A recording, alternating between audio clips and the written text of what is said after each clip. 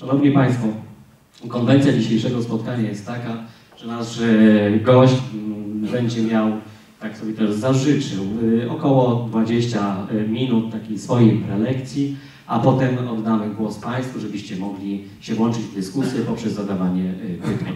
Całość będzie trwała w granicach godziny 40, godziny 45. Musimy skończyć z uwagi na dalsze obowiązki Pana Marszałka około godziny najpóźniej 20. Także proszę uprzejmie Panie Marszałku, daję głos.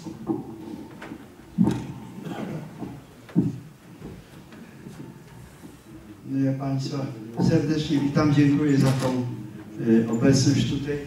No, mamy mówić o 27 latach y, naszego życia, polskiego życia, państwa indywidualnego i zbiorowego i co nam się udało, co nie.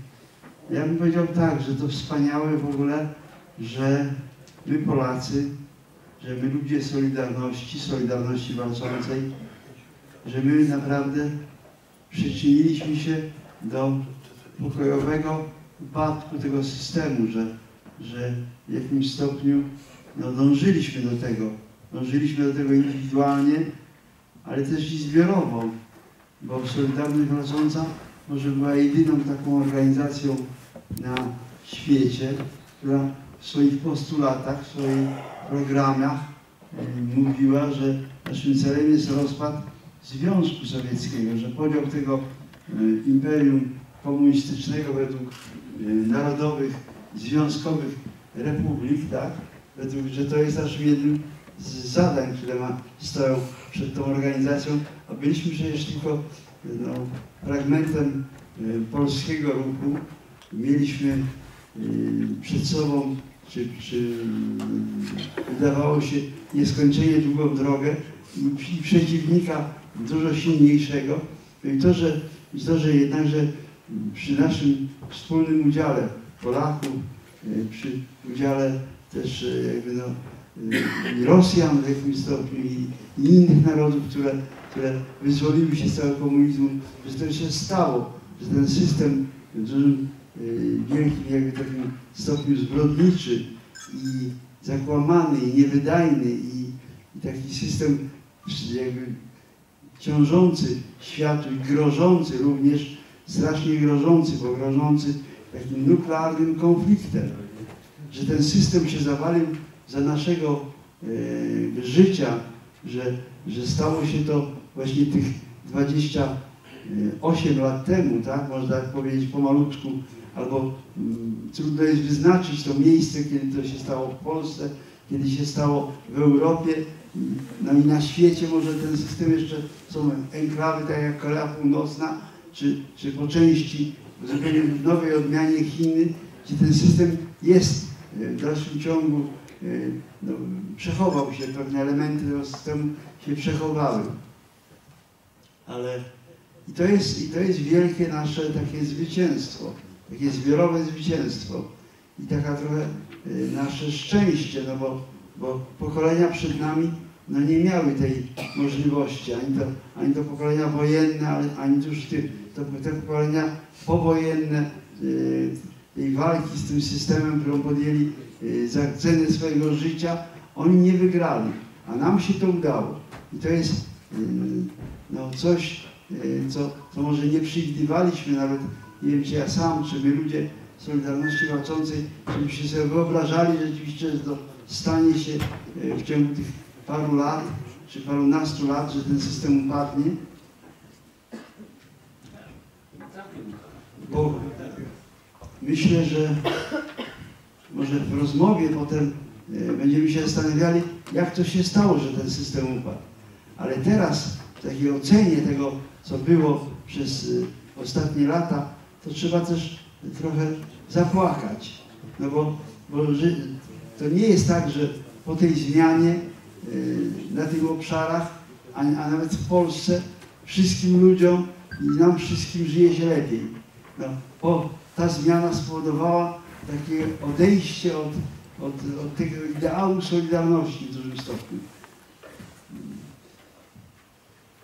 Ci y, reżysery tej, reżyserzy tej, tej transformacji, ludzie okrągłego stołu, ludzie Kiszczaka czy Wałęsy, tak? Oni sobie e, w dużym stopniu krzywdy zrobić nie dali, tak? bo, bo się dobrze ustawili. Tak?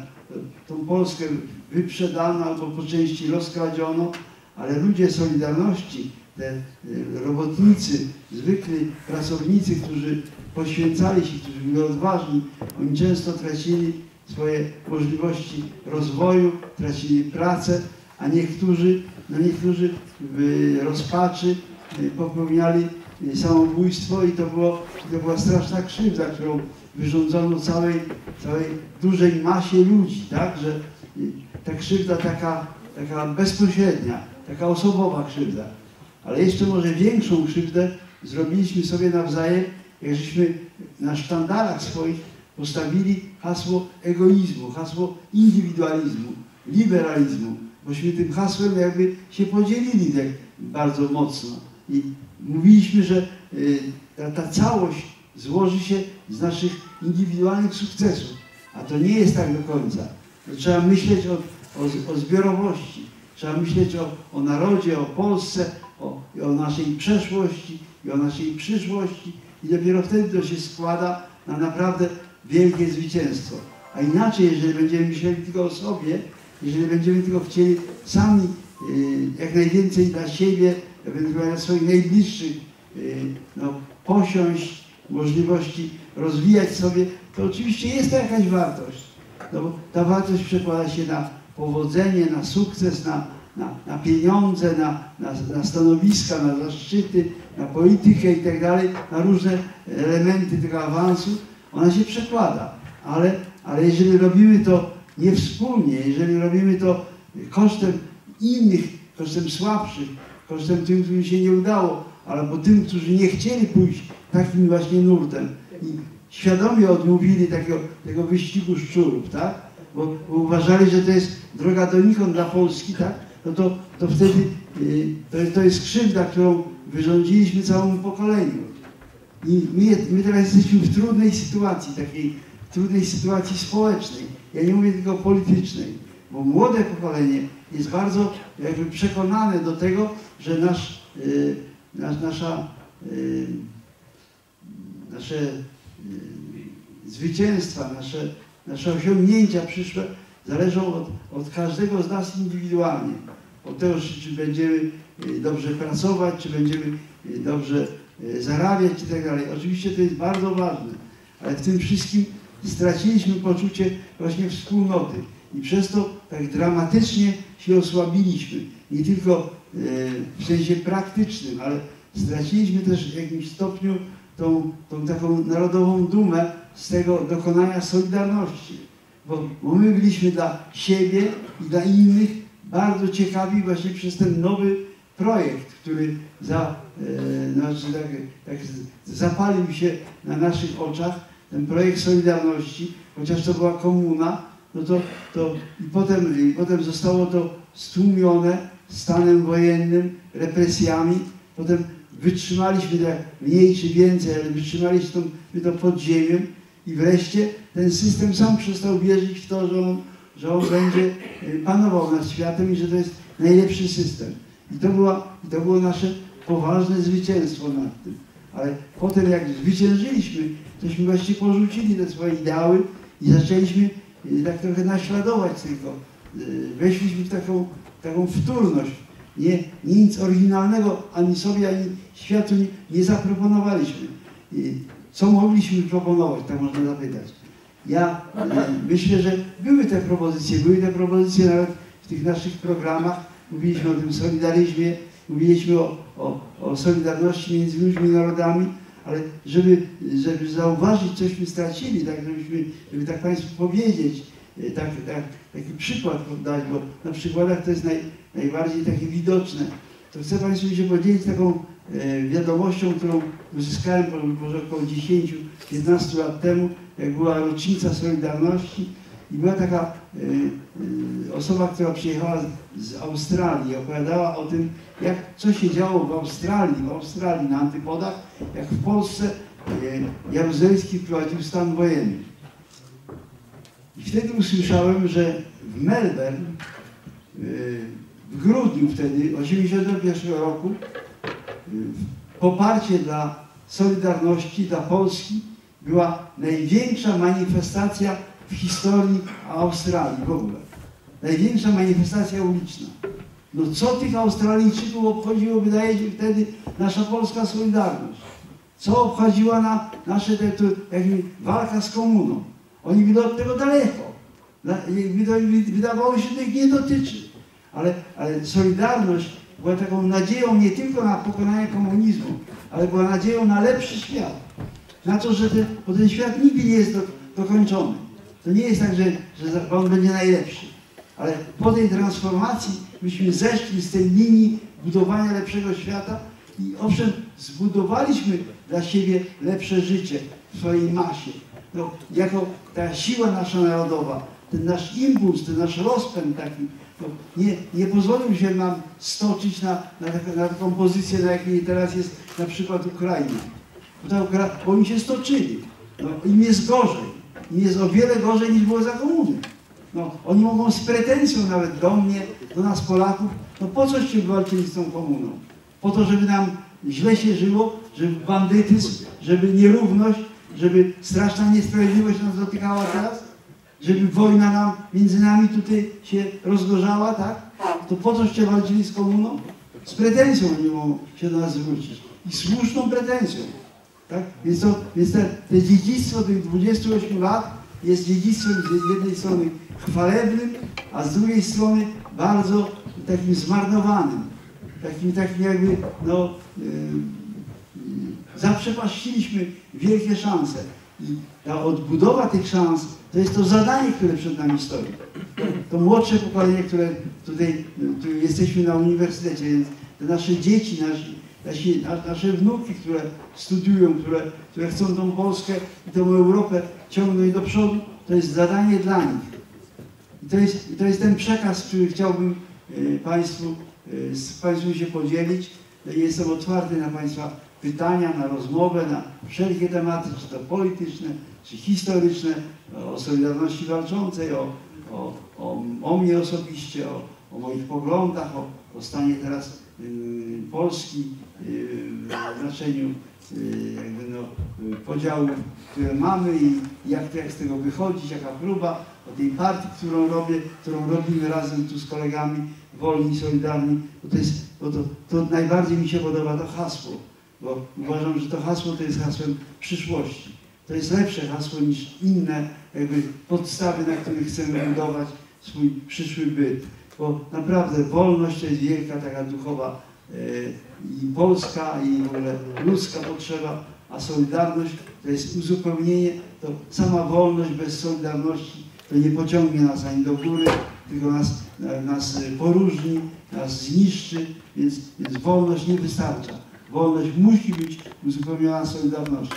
Musi być uzupełniona tym przekazem, który idzie za, za Chrystusem, za dziedzictwem miłości Jego, Jego pomysłu, żebyśmy jedni drugich brzemiona nie nosili, tak jak to powtarzał za świętym Pawłem nasz ojciec Jan Paweł II. Tak? To bardzo Państwu dziękuję za tę uwagę. Jest, jesteśmy otwarci na rozmowę. Bardzo dziękuję.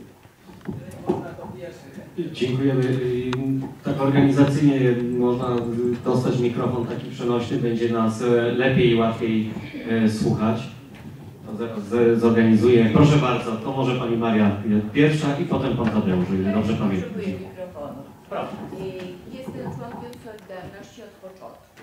Jak powstała Solidarność i na początku rzeczywiście byliśmy solidarni, starci i, i informowaliśmy. Brałam udział w tym, może nie w bezpośredniej, ale pośredniej.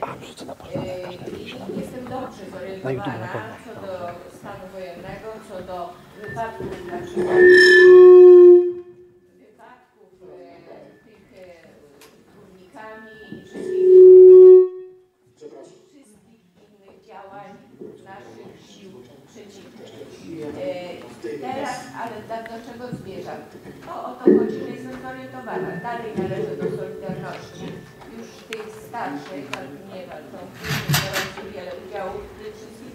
Natomiast była uroczystość pod pomnikiem zorganizowana na cześć Solidarności niedawno było święto. Pod pomnikiem miasto organizowało. Byli wszyscy przedstawiciele, było dużo młodzieży, było wojsko. Wojsko to też młodzież. I w tym czasie zabierali głos młodzi ludzie, czyli prezydent, który tam w zasadzie nie pamięta dużo i nie wie o Solidarności, jeszcze inni młodzi. Natomiast nikt w Solidarności nie zabrał głosu, bo ich nie poprosili o to. A wypadało tej młodzieży przekazać, tej, która się zgromadziła, przekazać i przekazywać w dalszym ciągu wiedzę na temat, co się działo. Bo dzieci jednak nie czytają tych rzeczy, ta młodzież rosnąca. Ona nie ma pojęcia. Ona była przekonana, że był stan wojenny i na tym się kończyło. Ale jaka to była jadka na przykład z górnikami, bo tak opowiadali mi ci, którzy brali udział w tym wszystkim, że to była jadka, to nie była walka. To nikt nie wie z dzieci, z młodzieży i to należy do e, naszych członków, bo my mamy taką organizację w Opolu, tylko że o niej nic nie słychać i nigdzie nie, wiadomo, nie, nie organizują żadnych e, informacyjnych spotkań z młodzieżą, żeby wychowywać, żeby ich razem starać. To jest pierwsza rzecz, którą chciałam poruszyć awwocem, że trzeba to uruchomić. A drugą rzecz to chcieliśmy, już tutaj rozmawialiśmy dużo na tematy gospodarcze i bardzo prosić, e, ponieważ ma Pan tam możliwość e, zainicjowania czy wpłynięcia na to, żeby nie e, wyszła ustawa w Sejmie e, że o nieprzedawnieniu przestępstw gos- gospodarczych. E, Że bez względu na to, kiedy się odkryje te przestępstwa gospodarcze, to ludzie, e, bo to było okradanie naszej Polski, naszej ojczyzny i naszych obywateli. Wiadomo, jak sądy działały. W związku z tym właśnie taki postulat, żeby nie, e, Sejm ustalił ustawę, żeby nie przedawniać e, przestępstw gospodarczych. Dziękuję bardzo Panu za spotkanie. Podziwiamy zawsze Pana i Pana syna, który jest wspaniały, bo miał takiego tatusia. Bardzo dziękuję. Znaczy, y, to, to wszyscy, zacznę od tego przestępstw gospodarczych. To jest taki problem, który nie tylko dotyczy przeszłości, ale no, bo parę dni temu, jak było do y, rozważania na temat, kto będzie prezydentem y, Rady Europejskiej, pana, pana premiera Tuska i ta kontrowersja, tak? Wtedy służby aresztowały ludzi, którzy wyłudzili olbrzymie, wielomilio- wielomilionowe tam jakieś kwoty tytułem VAT, tak? No i, wiem, po, po i sąd puścił tych. Puścił tych także to, nie tylko o przedawnianie nawet, ale chodzi o to, że na bieżąco nasze, nasze, nasze państwo nie jest w stanie na bieżąco jakby tej sprawiedliwości takiej elementarnej dopilnować, tak? No bo to, to nie może być tak, żeby, żeby bezkarnie można było y, fałszować nie tylko stan e, polskiej gospodarki, ale stan nawet e- europejskiej gospodarki, bo, bo te, te pieniądze, które ci ludzie brali, które się ocenia y, międzynarodowe y, takie instytucje. Dobrze, mam bliżej mikrofon trzymać, bo Państwo nie słyszycie, tak? Teraz jest lepiej? Teraz dobrze. Przepraszam bardzo. przepraszam. Te międzynarodowe instytucje oceniają, że w wyłudzeniach VAT Polska rocznie traci od 40 do 60 miliardów złotych, tak? Niektórzy mówią więcej, tak? No to, jest, to są straszne, straszne pieniądze, dużo większe niż wszystkie te, te pieniądze związane z pomocą na 500 plus i tak dalej, tak? No i to, jeżeli tak jest, tak?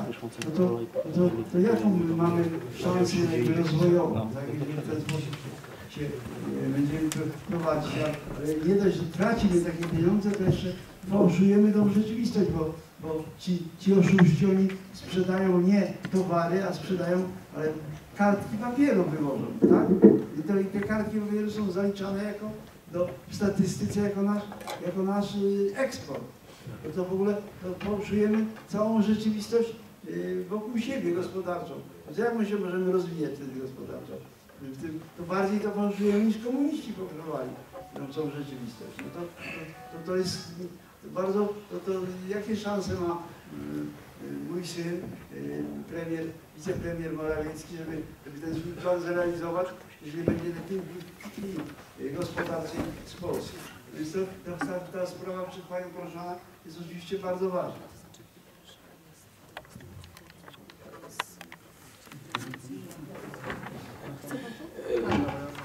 Dzień dobry. Chociaż nie powinienem tego mówić, bo już by było to dzień dobry. Panie Kornelu, pozwolę sobie powiedzieć to, e, to do Pana, że jestem prezesem Stowarzyszenia Obywatele Przeciw Bezprawiu, tutaj na Opolszczyźnie. E, Mieliśmy się okazję spotkać z Panem w sali kongresowej na dwóch konferencjach, które były zorganizowane przez e, grupę ludzi Kukiz 15 i Pan był również organizatorem tychże spotkań. Y, Proszę mi powiedzieć, bo chciałbym coś więcej na ten temat powiedzieć, że takich stowarzyszeń jak nasze y, w Polsce jest y, wiele. Jest ich około setki. Są to w sumie tysiące ludzi, którzy tak jak i my, myśmy walczyli przy, w czasie ostatnich wyborów parlamentarnych o to, żeby PO wykluczyć z rządów, świadomi tego, że to jest po prostu sitwa i układ po okrągłostołowym. Udało się.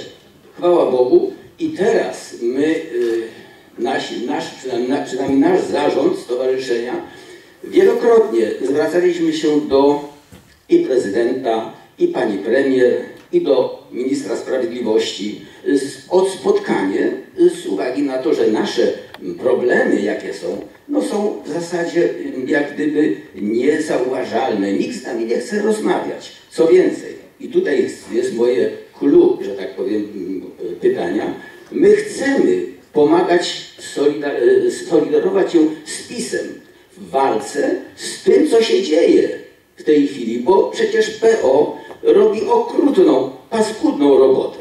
A my wydaje się, że chcemy, żeby Polska była rzeczywiście po prostu Polską. Żeby nie była tak jak za czasów PO, co widzimy dzisiaj, co robi Tusk i ta cała jego e, partia. Panie Kornelu, proszę, jeżeli Pan może, żeby ten głos przekazać tam gdzieś wyżej, że my chcemy pomagać, ale niech nas nie zbywa rząd i PiS. Dziękuję. W tej kwestii zmiany wymiaru sprawiedliwości to jest bardzo poważny taki narodowy też spór. No, jego widać było ten spór Trybunał Konstytucyjny. Teraz jest ta kwestia, którą y, minister Ziobro proponuje takich administracyjnych zmian w odnoszeniu do y, sądów, y, ci dyrektorzy sądów, inne ustawienie sędziów Sądu Najwyższego i tak dalej. To wszystko jest bardzo, bardzo ważne, są reformy ale one właściwie też nie ruszają moim zdaniem takiego rdzenia tej, tej rzeczywistości e, prawniczej, bo no nie ma tam e, e, nie ma tego pomysłu zasadniczego, żeby e, społeczeństwo mogło oceniać przez e, wolne jakby, no, głosy na, na danych prokuratorów czy na danych sędziów, żeby mogło oceniać pracę tych e, e, przedstawicieli wymiaru sprawiedliwości. To, jest ten taki bardzo nowy sposób, jakby taki bardziej anglosaski sposób do, do osiągania no, większej jakby no, takiej skuteczności tej, tego wymiaru sprawiedliwości, bo, bo ci ludzie są, to jest taki trochę klan, oni mówili, że jedna sędzina powiedziała, że oni są taką zamkniętą trochę kastą, prawda? Tak to nazwała, tak? Oni, to, oni są wyższą kastą. Tak, tak się zastanawiam, no to, ale, ale te, ta, ta, ta, ta trudność tutaj e, na tym polu sprawiedliwości, ona jest taka nawet może jeszcze głębsza niż Panu się wydaje, niż, niż ja to tutaj mówię, to jest, bo, bo prawo byśmy uczynili jako podstawę jednoczenia e, nie tylko narodowego w jakimś stopniu, ale nawet międzynarodowego. Unia też się jednoczy na wszystkie inne takie głębsze wartości, jak, jak wiara, jak, jak właśnie jak, jak te wielkie słowa, jak, jak dobro, jak, jak prawda, one tra, tracą na znaczeniu, tak? A prawo stosujemy jako główną podstawę naszej działalności, tak?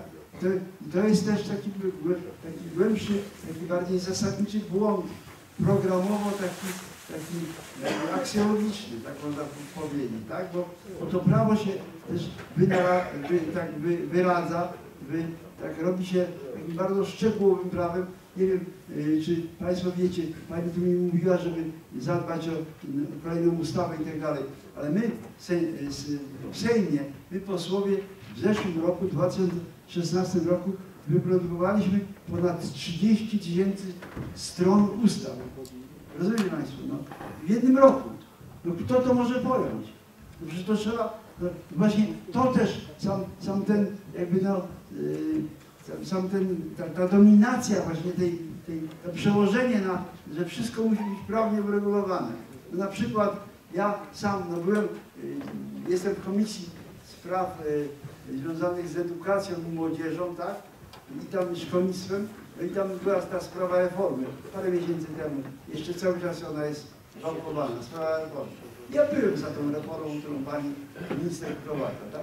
No Ale, ale potem tam trochę, trochę uważam, trochę nie uważam na tych komisjach, bo to wie, wielogodzinne te obrady, to nie wszystko możesz śledzić, ale wreszcie jest, ta, jest ten pro, projekt ustawy, tak? Projekt ustawy. I ten projekt ustawy liczy 350 stron. No to, no to kto to jest w stanie, no? Ci, mi, znaczy, to jaka jest rola ministra, ministra i jego urzędników, jaka jest rola kuratora, jaka jest rola nauczycieli, dyrektorów, woźnych, jeżeli, jeżeli to tam wszystko ma być zapisane. To my posłowie mamy to wiedzieć lepiej niż nauczyciele, to przecież to nie tak jest. Ta władza wykonawcza traci wtedy sens w ogóle.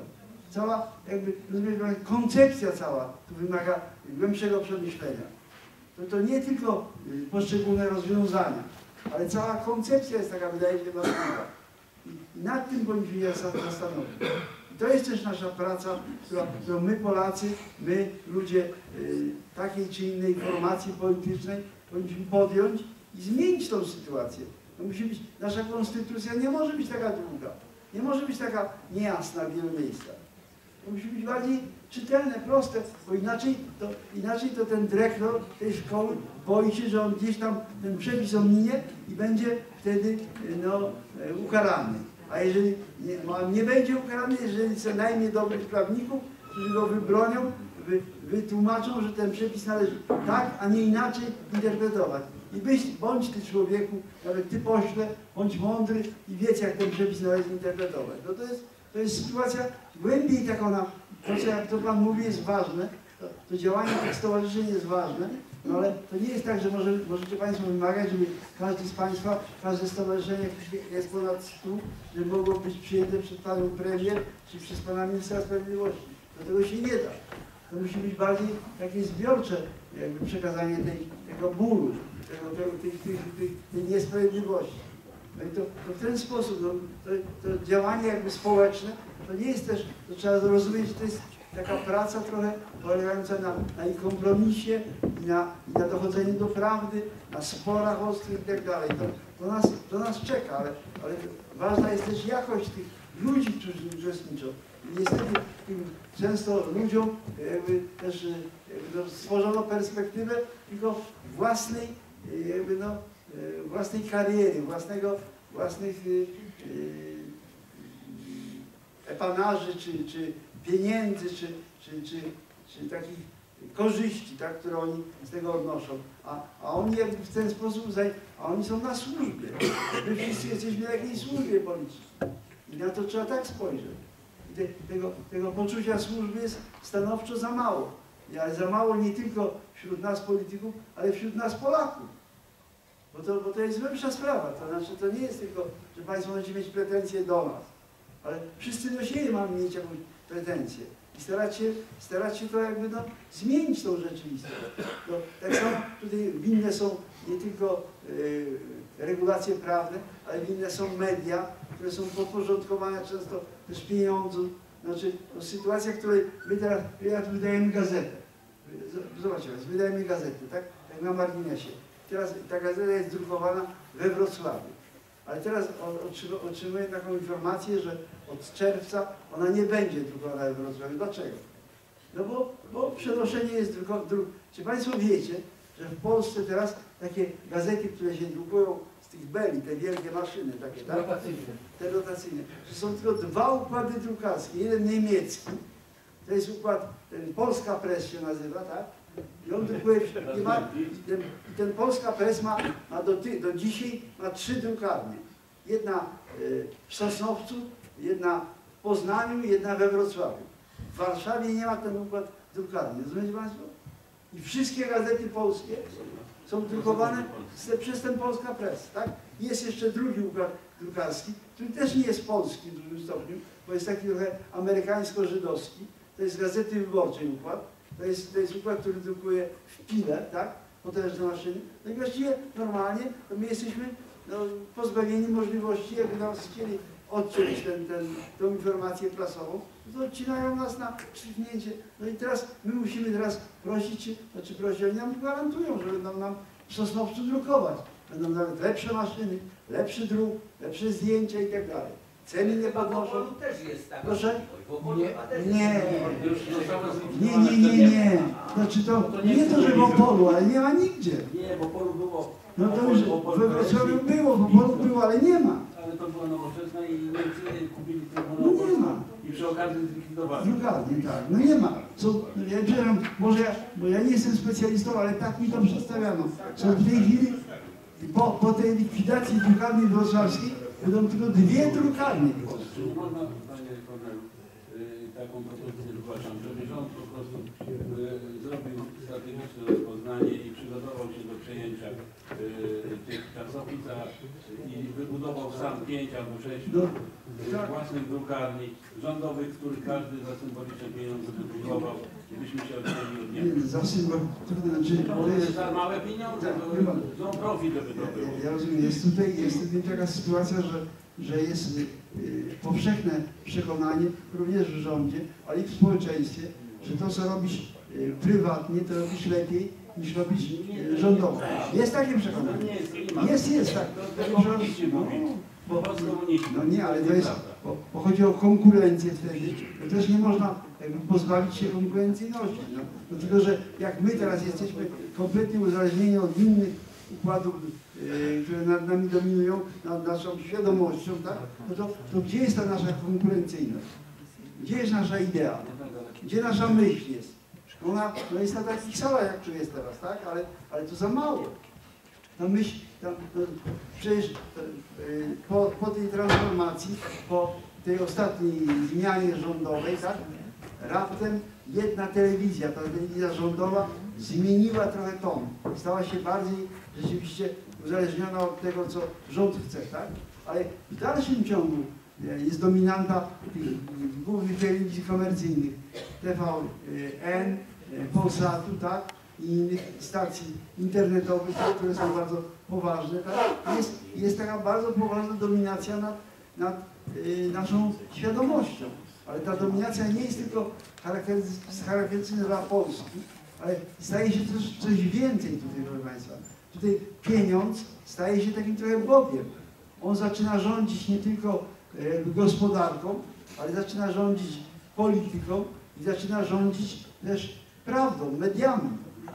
Mediami, zaczyna myślami rządzić, tak, naszymi, tak? No bo, no bo e, zobaczcie Państwo, teraz jest w Sejmie, Państwo może niektórzy śledzicie, ta komisja e, śledcza Amber Gold, tak? No tam są różne zarzuty, różne poważne zarzuty. Pan Belka, e, nasz dawny prezes Narodowego Banku Polskiego ośmiela się mówić, że to, że to Polacy, naiwni, głupi Polacy, prawda, dali się nabrać i tak dalej, uważajcie, tak? No Ale co zrobiło państwo, żeby tego nie, nie zrobić? Ale, co zrobiły media? No media namawiały Pol Polskę do tego. Przecież i, i gazety, i te główne gazety, i Rzeczpospolita, i Gazeta Wyborcza, i telewizje główne, tam były reklamy Amber Gold. One, tych ludzi, przecież to było jasne. Przecież tam było przekazane, że to będzie właśnie się opłaca, że to, że, ci ludzie by nie poszli. Pan Belka mówi, że to byli naiwni Polacy. No, a, gdzie był, a gdzie był prezes Narodowego Banku Polskiego, naprzeciw e, tego banku w Warszawie, na Świętokrzyskiej, tam i kilkadziesiąt metrów od tego była, był punkt Amber Gold. Bo by, by, by, by, oni mieli swoją tam siedzibę. No i to, to wszystko, to rozumiecie Państwo, znaczy to, te pieniądze, które tutaj rozkradziono, one, one się jakby no, one same się napędzały, same sobą się, się karmiły, tak, te pieniądze, tak? Ci, co mieli pieniądze, chcieli mieć jeszcze większe pieniądze i rzeczywiście wyłudzali te pieniądze od tych, którzy troszeczkę mieli pieniędzy i chcieli te pieniądze zarobić. Naiwnie, naiwnie wtedy, tak? To, to prawda. No ale, ale to, wszystko jest, to wszystko jest błędne koło. To jest takie koło, które nas prowadzi raczej do, do nieszczęścia w przyszłości. Bo, bo to nie jest sposób na, na, na równowagę w świecie. Już teraz yy, bardzo wąska grupa ludzi ma niebotyczne środki i dyktuje nie tylko yy, innym, ale nie tylko innym jakby no, yy, konsumentom, ale nawet całym organizmom yy, społecznym, państwowym, tak? Dyktuje swoje warunki.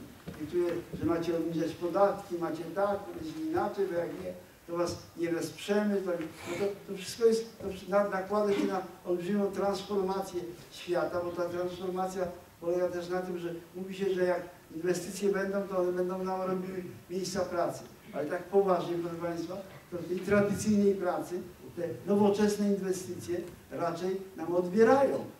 Bo to są, bo to są miejsca, które on, on, coraz mniej ludzi jest potrzeba do wytwarzania coraz więcej, yy, coraz bardziej jakby doskonałych produktów, coraz bardziej zaawansowanych produktów. Te, to jest kierunek świata. To jest taki błogosławiony kierunek świata. Tego się nie należy bać. Należy, należy, go, należy go zrozumieć. Tylko na, tym, tylko na tym poziomie należy szukać nowych rozwiązań. I tych nowych rozwiązań, nowych pomysłów na, na nową naszą działalność. I tych nowych pomysłów nie szuka, albo za mało szuka e, Prawo i Sprawiedliwość, za mało szuka mój syn, e, wicepremier Morawiecki. Za mało tych pomysłów szuka, bo on się nawet nie odważa wejść w ten, bo on też jest z tego układu takiego, który go wychował i tak dalej, spieramy się, sp- sprzeczamy się, ale, ale tu potrzeba jest naprawdę takiej odwagi, takiej odwagi w myśleniu. Ja bardzo Państwa o to proszę. No, dobra. Kornelu, coś mogę powiedzieć? Prosił mikrofon. No, chciałem tutaj coś powiedzieć, proszę Państwa, takiego, żebyśmy nie nawlekali, żebyśmy się nie bali. Panie Kornelu, prosta droga do celu. Nie narzekajmy, nie czarujmy tutaj nawet tego małego grona, że jesteśmy bezradni, bezsilni, bezwolni, bez szans. Nie, my mamy szansę, my żyjemy, my wszystkich rozbijemy. Tylko trzeba tak podchodzić do sprawy. Przemysł. Trzeba odbudować przemysł. To jest pierwsza droga dla rządu. Pierwszy obowiązek. Musi być praca w polskich firmach. Musi być polski rynek. Takie rzeczy i trzeba to mówić tak, jakby się wchodziło, a nie wychodziło. Dziękuję. Dobrze, dobrze, tak, tak, dziękuję bardzo. No to jest bardzo ważne Pana zdanie. Ja oczywiście zgadzam się tak zasadniczo, że nie chodzi o to, żebyśmy narzekali, nie chodzi, żebyśmy się czegoś bali, ale, ale te wyzwania, przed którymi stoimy są, e, są e, trudne i to są inne trochę.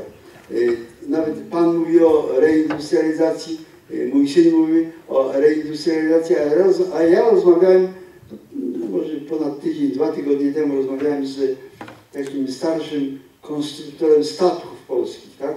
E, On takim inżynierem, takim z dużym doświadczeniem, stażem. I on mi mówi tak, że no panie Kornelu, tu w Polsce niepotrzebna jest, nie wystarczy mówić o reindustrializacji, ale trzeba mówić o, o mówić, że nie, nie, nie, nie odbudowa przemysłu, ale odbudowa inżynierów. Reinżyniering jest potrzebny, on mówi. No to jest, bo, bo nie mamy, nie mamy już teraz roz, roz, roz, te zespoły ludzkie, te, roz, my jesteśmy starzy, on mówi o sobie, tak, nie o mnie, tak, nie ona mówi, tak, a nie ma, nawet na uczelniach, jak ci, ta młodzież się uczy, to ona się uczy teoretycznie, a to trzeba taki statek zaprojektować, roz, roz, rozrysować, a potem, to my tego nie robimy. No, nie, ale my właśnie, no, a nawet nie chodzi tylko o coś takiego jak statek, ale, ale, nawet, ale nawet tak jak bank, te banki, tam gdzie mój syn pracował, on był tylko zarządzającym tego banku. Właścicielami byli inni. Rozumiecie Państwo, tak? I, i koncepcję tej bankowości i tak dalej, gdzie indziej się wypracowywało. On też, on był, on był świadomy tego, że, że to co przychodzi z zewnątrz, że te banki nas w dużym stopniu uzależniają, ale też te banki zagraniczne, ale też nas uczą lepszej, lepszej obsługi klientów, lepszej bankowości, lepszej wydajności, lepszej, lepszej ocenialności tego, czy, czy komu dać kredyt, a komu nie dawać kredytu i tak dalej. No, wiele rzeczy nas uczą. Także to jest, a, ale myśmy się pozbawili tej strategicznej takiej, ta, ta transformacja, której z tym, z tym zresztą przyjeżdżam do Państwa ta transformacja przez tych 20, 28 lat, ona nas po, pozbawiła takiej zdolności, takiego właśnie strategicznego, takiego, takiego myślenia, takiego bardziej całościowego. Nawet, nawet są konstruktorzy polscy, ale nie ma polskich jakby planistów, takich projektantów, rozumiecie Państwo? My umiemy to, to są fabryki, które e, inni nam mówią, że to należy składać tak i tak i to będzie dobrze, tak, tak? Ale żebyśmy za mało wymyślamy now, nowego. Tutaj potrzebny jest taki reinżyniering, nowa jakby, nowe, nowe, nowe otwarcie. A to było nawet, nawet komuniści o to dbali. Nawet komuniści o to dbali jakby starali się, żeby, żeby Polska nie wypadła z tego, z tego obiegu, tak? A tutaj ten świat teraz idzie niesamowicie szybko. To, to, ten, ten problem pracy, to musimy znaleźć nową pracę, proszę Państwa. Na, na tym poziomie takim, my ją znajdujemy, ale na tym poziomie są takie pomysły jak, jak y, Finlandia, Finlandia, tak? Żeby płacić ludziom za nic. Rozumiem Państwo, zrobili sobie taki eksperyment, wylosowali 200 Holendrów i płacą im taką obywatelską e, pensję. I mówią, że im się może opłacić. No bo to jest, że, mówią, że to jest dobre. Ja, ja, pr- proszę? Do? Do, końca życia. Ale do kiedy? Do końca życia. To wytrzyma. Do końca życia. Nie, te dwie, 200 osób no, wytrzyma. No jak wszyscy? A jak wszyscy, być może wytrzyma też. Bo, bo, bo, bo automaty. Bo, bo to jest automaty, pan rozumie. Bo to jest sytuacja taka, że, że bardzo niewielka, że niewielka ilość nas, nas e, tych projektantów, tych właśnie mądrych ludzi, tych, tych, tych, tych, tych e, informatyków i tak dalej, tych, tych e, no, myślących bardzo głębiej ludzi, ona zaczyna, rozumiem Państwo, pierwszy raz my jesteśmy, my, my wchodzimy zupełnie w inny świat, żebyście Państwo to zobaczyli. To jest, to jest świat, po pierwszy raz świat dosytu, o tak bym powiedział. Tak to przecież. Nie, niech Pan posłucha. Głodują. Rzeczywiście według danych FAO około 800 milionów ludzi na świecie głoduje. Ale jak ja się rodziłem, teraz jest ludzi 7,5 miliarda. Jak ja się rodziłem, na świecie było niecałe 2,5 miliarda i też 800, ludzi, 800 milionów ludzi głodowało. I to jest ta różnica. W tej chwili nikt nas nie musi już głodować. Pierwszy raz świat produkuje ilość ziarna wystarczająca na zaspokojenie głodu dla każdego. I ci, którym się udało, którzy jakby ten swój wysiłek organizacyjny, taki narodowy i społeczny podjęli poważnie, tak jak Chiny, to mimo, że są olbrzymim narodem, mimo, że liczą prawie półtora miliarda ludzi, to eksportują żywność. A jeszcze, jeszcze 25 lat temu głód tam był, a teraz eksportują żywność. Wyobrażacie Państwo sobie, tak, w 2015 roku Glob wyprodukował tyle ziarna, że na każdego mieszkańca Globu dziennie jest 90 deka ziarna. Na każdego, od, od niemowlęcia do starca. To jest niewyobrażalne. To nigdy tak dobrze nie było na świecie. My pierwszy raz, pie, za, znacie Państwo tą wielką suplikację od powietrza, głodu, ognia i wojny, zachowaj nas Panie. Ten głód to była nasza codzienna rzeczywistość, tej, zwłaszcza tych ni- niższych, biednych warstw społecznych, tak? To, to jeszcze, jeszcze 50, jeszcze po wojnie y, głód był w Anglii. Po, po, oczywiście ten głód był spowodowany tym, że, że była wojna i tak dalej, to ja rozumiem, tak? Ale, ale w Anglii był głód. No a teraz w Chinach nie ma głodu. Indie wychodzą z głodu. Afryka wychodzi z głodu. Bo, bo tam, jeżeli, jeżeli tutaj cze- czegoś brakuje, to brakuje infrastruktury, czy to materialnej, ale jeszcze głębiej takiej infrastruktury moralnej. Że, że bo, bo dla, dla nas chrześcijan, dla nas Europejczyków, to, to, to, że ktoś inny głoduje, to jest powód do, do bólu, do mojego. My się źle z tym czujemy, tak? Ale dla innych niekoniecznie. To niekoniecznie tak jest. Oglądaliście, jak Państwo film taki yy, helikopter w ogniu po Somalii, tak? Amerykanie chcieli dać żywność yy, tym biednym matkom, które wyschłe piersi, wzdęte brzuszki, dzieci i tak dalej do interioru somalijskiego, a ci bandyci z Mogadiszu przejmowali tą żywność i zamieniali na wyrzutnie rakietowe na ka tak? No i oni wtedy posłali tam swoich marines. No i skończyło się tak helikopter w ogniu. Część tych marines, ci, ci bandyci na jeepach, na amerykańskich jeepach rozwalali bruk, yy, po bruku głowę im rozwalali, tak? A resztę helikopterami uciekała. Tak, no tak się to kończyło. Bo dla nich to nieważne, że tam głodują ich, ich tam jakieś biedne kobiety gdzieś w interiorze, tak? No i ważne, żeby oni mieli to, co mają. Więc ta sytuacja taka światowa i gospodarcza, jakby sytuacja też e, no, szerzej jeszcze taka kulturowa też, ona jest zupełnie inna.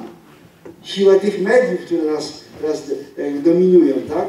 Znaczy sytuacja również duchowa staje się inna, bo, bo Europa na przykład, ten, ten rdzeń chrześcijaństwa traci swoją wiarę. No to jest też bardzo poważny problem, na który musimy odpowiedzieć jakoś. Traci wiarę. Te, te, ta, tam, gdzie była, tam, gdzie były najlepsze y, teologiczne osiągnięcia, gdzie, gdzie, gdzie cała y, jakby no, nasza, nasza y, kolebka naszej, naszej kultury skąd się bierze, tak? Zresztą my również w tym uczestniczyliśmy. Nasi przodkowie również uczestniczyli w tym. Że żyjemy na takim głębokim zakręcie. I na to musimy właśnie szukać według jakich wzorów, według jakich jakby idei, według jakich pomysłów mamy, mamy, mamy się budować. Tu sam pomysł reindustrializacji Pana i mojego Syna na pewno nie starczy. Na pewno nie starczy. To za małe. To jest za małe. Panie Kornelu, jeszcze problem jest w każdym mieście bezdomni. No tak, no Zajmij bezdomni. się tym, ta organizacja, co tam chce się No z tak. nami spotka, niech się spotka z bezdomnymi. To jest moim, e, poradzam im to. Tak. Spotkajcie się z bezdomnymi, a nie z premier. To będzie No lepsze. tak, bezdomni też, ale ja byłem, dwa tygodnie temu byłem u księdza, księdza Franciszka Głoda, taki z Wrocławia ksiądz, który y, był proboszczem parafii tam y, świętej Elżbiety, nie Elżbiety, to inaczej się nazywała, przepraszam, na Grabiszyńskiej jaka parafia się nazywała, a to już nie pamiętasz, nie pamiętasz, nie, nie pamiętam. No ale on, i on teraz w Jugowicach zrobił taki, y, tak, ma dziewię- 19 bezdomnych i, tak, i byłem taki podziwu godny, taki, taki podziwu godny był jego inicjatywa, bo on z tych bezdomnych ludzi, z takich często alkoholików, zrobił takich, którzy tam nie piją, którzy sami utrzymują krowy, świnie hodują, budują mu bogactwo i tak dalej. No po prostu się rozwijają. No, coś byłem taki zachwycony, że, że, tak, że, że można zrobić z takich ludzi taki zespół, który razem się modli, razem je, razem pracuje, razem mówi, tylko nie mogę im dać pieniądza, nie mogę im dać pieniędzy, bo, ale niektórzy wychodzą z tego, idą potem do domu, z alkoholizmu wychodzą i tak dalej. No to jest bardzo taki piękny przykład takiego, takiej działalności właśnie pozytywnej, takiej, takiej głębszej działalności, tak. To co Pan mówił o tych bezdomnych mi się przypomniało. Możemy zapytać Panie? Proszę bardzo. 1, 1 marca, Dzień y, Żołnierzy Wyklętych. Y, Pan poseł tutaj nasz z ziemi opolskiej, Kukiz, powiedział bardzo źle y, o, o naszych żołnierzach wyklętych. Przepraszam bardzo, nie o wyglądach, tylko o jednym. No chyba odebrałem to źle. O jednym, tak. Panie pośle, jak Ja to... tą sprawę akurat doskonale znam, bo w tej sprawie siedzę. Mhm. I jeszcze drugą, drugie Ale pan by się zachował? Ciekaw jestem, po której stronie pan był w 1946 roku? Po prawdzie historycznej. To niech pan sobie to zakopie do ziemi. To Tak? Gdzie pan był w A 1947 Panie pośle, roku? To prawda, zapytać, proszę. Panie pośle, jeszcze... Co by pan zrobił w 1947 roku? Prawda jest bardzo ważna. Proszę pana, przede wszystkim. Panie Proszę pośle, jeszcze drugie, moim zdaniem pan by był drugie, drugie pytanie jeszcze Nie, przepraszam, odnośnie, jak pan. odnośnie, Nie. Co pan do mnie? Mówię tacy odnośnie jak pan. konfliktu, Co pan jest? odnośnie konfliktu y, w IPN-ie, odnośnie y, pana, w IPN-ie, odnośnie pana Szwagrzyka, nie? Czy coś y, pan nam poś- poseł może przybliżyć ten konflikt? Dziękuję. Nie, uważam, że los tych żołnierzy wyklętych no to taki strasznie tragiczny los. A w ogóle, ale on oddaje też nasz, jeszcze może nie do końca oddaje los Polski. No, proszę Państwa, ja byłem wtedy, jak była y, ta wielka uroczystość taka na y, dziedzińcu więzienia na Rakowieckiej. Tam był pan prezydent, był minister y, sprawiedliwości, był minister obrony narodowej, tak? To były takie uroczystości bardzo podniosłe i tak dalej. I, I wtedy y, no, czciliśmy pamięć tych zamordowanych tam w tym więzieniu ludzi, bo sam byłem tam króciutko w tym więzieniu, prawie pół roku tam byłem tylko, ale to w innych zupełnie sytuacjach, zupełnie o co, o co chodziło i tak dalej. Ale nie wiem, czy Państwo wiecie, że w tym więzieniu na Rakowieckiej, y, tam na Rakowieckiej rozstrzelano strzałem w tył głowy tych y, około 400 tych naszych patriotów, takich, tak, około 400, tak, tak się ocenia. Proszę tych, tych czy to y, ludzi z lasu, czy, czy z konspiracji winu, czy z Narodowych Sił Zbrojnych, różnych jakby no, takich, którzy się nie chcieli poddać tej, tej, temu dyktatowi komuny po, po 45-44 roku, tak? Oni tam ginęli, tak? Ale nie, nie wiem, czy ktoś z Państwa wie, że w tym samym więzieniu Rakowieckiej w pierwszych dniach Powstania Warszawskiego, y, w pierwszych dwóch dniach, czy trzech dniach Powstania Warszawskiego Niemcy rozstrzelali 900 więźniów. Polaków, normalnych Polaków, wziętych, często niektórzy byli kryminalistami, ale albo z łapanki, albo, albo no po prostu, albo się gęba Niemcowi nie podobała, tak? I, te, i oni z tego stu zdołało się uwolnić, bo oni otwierali cela po celi, rozstrzeliwali i, na, i kopali na dziedzińcu tam na Rakowieckiej. Potem, tak? No to, to, to jest to świadczy o tym, jak my Polacy, pod jakimi my byliśmy wyzwaniami. No, my byliśmy pod strasznymi jakby naciskami takimi. Mówimy o, mówimy o tych bohaterach naszych, tak? Ale przecież naszymi bohaterami byli również ci, co szli na Berlin. No to też nasi bohaterowie.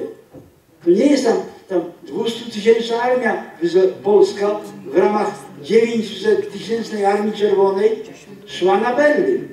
I oni tam masowo ginęli, masowo, masowo walczyli i nie przypadkiem na bramie brandenburskiej y, przy końcu kwietnia zawisły dwa sztandary. Czerwony y, z sierpem i młotem sowiecki i biało-czerwony polski. Także to, te- ten, ten problem jakby tej naszej historii, tej naszej przeszłości, to jest bardzo złożony, tak? Tu się nie da tego odczytać tylko na jednym, na jednym nurcie tym historycznym, na jednym szlaku, tak?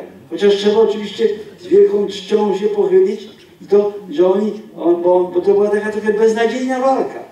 Oni to rozumieli, że, że oni nie walczą o siebie, to była taka, taka walka Ży, jak Żydzi w getcie niemalże. Oni też wiedzieli, że nie walczą o siebie. Oni wiedzieli, że walczą o honor, walczą o, o jakąś, o, o to, żeby walczyć. Żeby walczyć, że, że nigdy przed, jak to jest, jak tam było w tym pieśni Konfederatów Barskich, tak? Nigdy przed mocą nie ugniemy szyi, tak? No to, to mamy tą tradycję, tak? Znaczy, ani z królami nie pójdziemy w aliansach, przed mocą nie ugniemy szyi, tak? No nie umieli tej szyi, no i to wielka im cześć i chwała za to, taki, taki, taki honor, no ale, ale trzeba zobaczyć cały ten, ten ten, ten, ta nasza przeszłość ma różne odcienie, bardzo głębokie, różnie, no, do, do, do mnie przyszedł jeszcze przed y, Solidarnością, przyszedł do mnie pan, on się nazywał Paciorkowski, Jurek Paciorkowski, tak? I on mówi, że on był w KBW. I on, i on chce teraz, i on chce teraz, i on może ten komunizm, on, ten komunizm yy, instalował, ale on uważa, że to robił źle, bo go tam piosenki i tak dalej, tak? On uważa, że to źle, ale on chce teraz w konspiracji być. I on był w tym w Solidarności, potem w Solidarności walczącej, już nie żyje, tak? Starszy ode mnie człowiek, tak? No ale, ale to nie znaczy, że i oni, oni wtedy walczyli z tymi żo żołnierzami wyklętymi. Oni byli, on, on byli, oni uważali, że oni są, y, że oni są za sprawiedliwością społeczną, tak ich przekonano. Te, te losy były bardzo pokręcone nasze.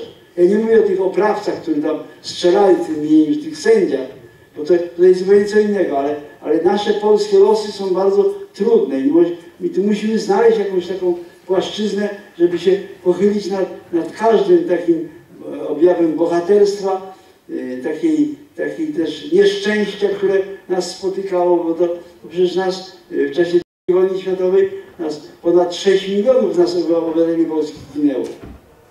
Elity polskie to nie tylko Katyn. My znamy, my wiemy Katyn, tak, ale to jest 20 parę tysięcy osób zabitych w sumie w tych obozach, tam Katyn, Miednoje, Ostaszków i tak dalej, te różne inne miejsca, Charków i to, i to, to nie, nie wiemy do końca gdzie, nie, nie wiemy do końca nawet gdzie to wszystko, te wszystkie e, groby naszych, czy, czy tych, tych zamordowanych e, na terenie Związku Sowieckiego ludzi e, leżą, tak, ale, ale, ale tak, białoruska ta lista, nie wiadomo, tak, ale z drugiej strony na, na pierwszych miesiącach wojny w końcu 1939 i na początku 1940 roku na terenach włączonych do Rzeszy, na terenach generalnej guberni, a to były potężne tereny. Poznań był niemiecki, ale Ciechanów był niemiecki. Ja wczoraj byłem w Ciechanowie. Ciechanów 100, tam kilkanaście kilometrów od Warszawy był niemiecki. Bo Prusy Wschodnie oni rozszerzyli sobie wtedy. No tak, do raju normalnie należał, tak? I w tych miejscach oni brali, jak ktoś był aptekarzem, ktoś był sklepikarzem, albo nie wiem, albo jakimś działaczem samorządowym przedwojennym, no często księdzem, tak? No to, to nie żył. To nie żył. Przychodziła taka Hitlerjugend i to się ocenia, że w pierwszych dniach wojny na tych terenach y, przyłączonych do Rzeszy czy, czy kraju Warty rozstrzelano od razu od 60 do 100 tysięcy mężczyzn. Polskich elit, rozumiecie Państwo? To my tu wszyscy, jak siedzimy na tej sali, to jesteśmy trochę jakimś tylko odrzutem.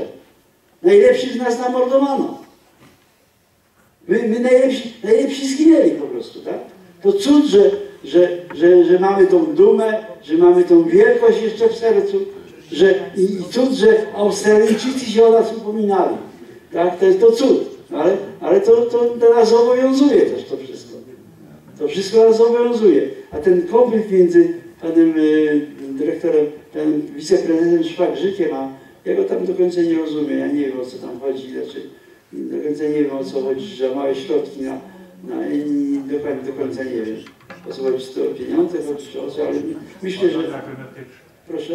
O badania genetyczne. O badania, no tylko tylko badania no, wymagają pieniędzy i tak dalej. Ja, ja rozumiem, to jest, to jest taki konflikt, no, ja podziwiam pana profesora Szwagrzyka, że jest zaangażowany w to, no ale też, ale też ja, to trzeba rozumieć, różne są różne inne wartości, które, które też muszą, ja, ja nie wiem, nie, nie zajmuję żadnego stanowiska w tym konflikcie. Tak samo jak, jak trochę moim zdaniem jest y, y, no, y, takie niesprawiedliwe ocenianie byłego prezesa IPN-u Łukasza Kamińskiego, ponieważ on, no, on, był, on działał zupełnie w innej rzeczywistości. Wtedy się mówiło o likwidacji IPN-u, tak, bo i to, i to, że on nie zrobił tego samego, co może teraz zrobić obecne kierownictwo IPN-u, to to jest zupełnie inna rzeczywistość. No, on, on musiał walczyć o to, żeby jego sytuacja była dużo gorsza niż, niż prezesa Kurtyki świętej pamięci jeszcze i dużo gorsza niż obecnego kierownictwa IPN-u, tak, no bo on miał przeciwko sobie ludzi, którzy chcieli, którzy byli przeciwni ilustracji w zasadzie, tak, to, którzy byli przeciwni, bo, bo przecież to ta sprawa Lecha Wałęsy i, i tych podpisów, prawda, która, które tu wyszły, no, które, które wyszły, no, to te, jego podpisy, no cała, cała ta, ta kwestia, no to, to, to widać było wyraźnie, jak my Polacy jesteśmy jednakże tutaj tak uzależnieni od, od polityki, od, od, może, od, może od zewnętrznych sił, bo, bo my nie wiemy, właściwie ja do końca, ja zacząłem, przyjechałem tu z Państwem o transformacji tych 28-lecia, ale, ale my do końca właściwie nie wiemy, okrągły stół, to, to co to właściwie było? Z czyjego to było pomysłu? Czy to był pomysł polski? Ludzie z IPN-u mówią, że tak, że to pewno pan Geremek, że to, że to episkopat, że również, że to był pomysł polski, że to były porozumienie się między władzami, Kiszczak i tak dalej, że, tak, ale, ale pan Macierewicz, minister obrony narodowej mówi, że nie, nie, to był pomysł zrodzony w Moskwie. Oni chcieli przetestować na naszej, na to takie poletko doświadczalne chcieli zrobić z Polski. Co to wyjdzie z tego, tak? A, a niektórzy jeszcze mówią, nie, nie, w jakiej tam Moskwie? To był pomysł, który się narodził w porozumieniu między Reaganem a Gorbaczowem. To był pomysł całego układu, który nas chciał tutaj, bo był wtedy projekt konwergencji systemów, tak? I chodziło o to, żeby zobaczyć, jak na, tej, na tym poletku polskim ta konwergencja będzie wyglądała. No więc, więc no, no bądź tu mądry i pisz wiersze, pan rozumie, tak? No to ja, no ja nie wiem, jak to było. Z tego co ja wiem, to raczej kol z tym raczej. No możliwe, no, ale Kohl był tylko piątkiem w grze. Był piątkiem w grze, bo ustawiał sytuację Polski no jak, nie, no jaki Gorbaczowa. no, myśmy mogli ustawić sytuację Kohla. Jak zwykle Niemcy i Nie. Rosjanie Nie, nie. są naszymi odwiecznymi Ale wrogami wie pan- i oni nam zawsze szkodzili i będą szkodzić. Ale nie pan, znaczy do, do dyskusji, ale, ale chcę powiedzieć tylko o tym sprawie Kola. Ja myślę, że w tym czasie, w tym czasie przełomu, i to jest też taka strata, którą ponieśliśmy, to wbrew pozorom, to nasza przewaga nad Niemcami była dosyć znaczna, bo to była symboliczna przewaga. Jak my, jak my Polacy, ale niestety mieliśmy wtedy, Wałęsa był prezydentem, e, Skubiszewski był agentem, nasz e, minister spraw zagranicznych, no, no mieliśmy, cała sprawa jakby rozliczenia z systemem była zamieciona pod dywan, tak kompletnie była jakby odrzucona, tak? Ale jakby, jakbyśmy wtedy Polacy powiedzieli tak, że my się nie godzimy na e, zjednoczenie Niemiec, chyba, że Niemcy nam wypłacą reparacje wojenne, tak? Jakbyśmy tak powiedzieli, jakby to, jakby to był głos rządu polskiego, polskiego premiera, polskiego prezydenta, polskiego parlamentu wtedy, tak? No to, to ja nie wiem, czy, czy Kohl miał tak dużo do powiedzenia. Nie wiem, bo to, bo to jest, bo to wtedy, bo to wtedy sami, sami Amerykanie, sami Anglicy, sami Rosjanie by powiedzieli, no jak? Przecież to Polska była pierwsza ofiarą II wojny światowej. A, i to, i to, i, a myśmy to właśnie to za darmo oddali. I teraz nam, teraz Niemcy nam mówią polskie obozy koncentracyjne. I mówią nie Niemcy, ale mówi o tym prezydent, już ustąpił, już nie jest prezydentem, ale dwie kadencje był, pan prezydent, amerykański prezydent Obama. No to, to wobec naszej obecności używa tej frazy. Oświęcim polski obóz, polski obóz koncentracyjny. No przecież się, to się, po prostu to się w głowie nie mieści. Jakby ojciec mój żył, to powiedział, Konrad, co ty się bawisz jakąś politykę? Ty weź jakąś tutaj, jakąś, jakąś wyrzutnię i walnij w, to, w ten parlament niemiecki. I tak bym powiedział. No to, jest, no to jest coś strasznego, to jest, taka, to jest takie, takie poniżanie ich nacjonalizmu, to jest skrzywda, którą oni lecą i my się mamy o to upominać? Nasze sądy? Panowie, sądy, sądy niemieckie. Przecież Niemcy są naszym sojusznikiem teraz w Unii Europejskiej. O, my, my, my powinniśmy od nich żądać, żeby oni do, dochodzili i karali tych, którzy kłamią. No koniec, tak powinno być. Ale to, to, to jest normalne. Proszę Państwa, y, ja chciałem y, wyrazić takie y, swoje no, wielkie wzruszenie tym, że to spotkanie przeszło najśmielsze moje oczekiwania. Proszę Państwa, kto przed nami stoi? Przed nami stoi z 10 milionów jeden. I to, co mówi dzisiaj, mówi to w sposób taki trochę metafizyczny. On jakby uosabia te 10 milionów, bo nikt już z tamtych nie mówi. Nikt. Tylko Kornel.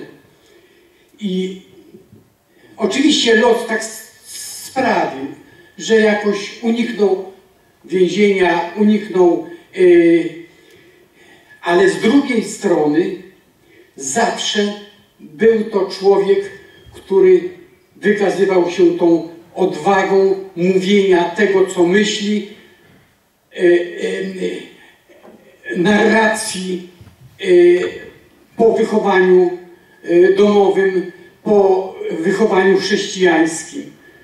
I wydaje mi się, ja chciałem to po prostu tutaj tylko powiedzieć, że to jest wielkie szczęście, że, że on tego dożył. To jest także jego wielkie szczęście że on tego dożył, że y, mógł wystąpić w tym sejm, Sejmie jako ten marszałek y, senior i tam zająć takie stanowisko, jak nikt wcześniej tak nie mówił, jak on tutaj wtedy i dzisiaj także mówi. I y, y, proszę Państwa, bardzo y, y, trudno mi tutaj z nim dyskutować.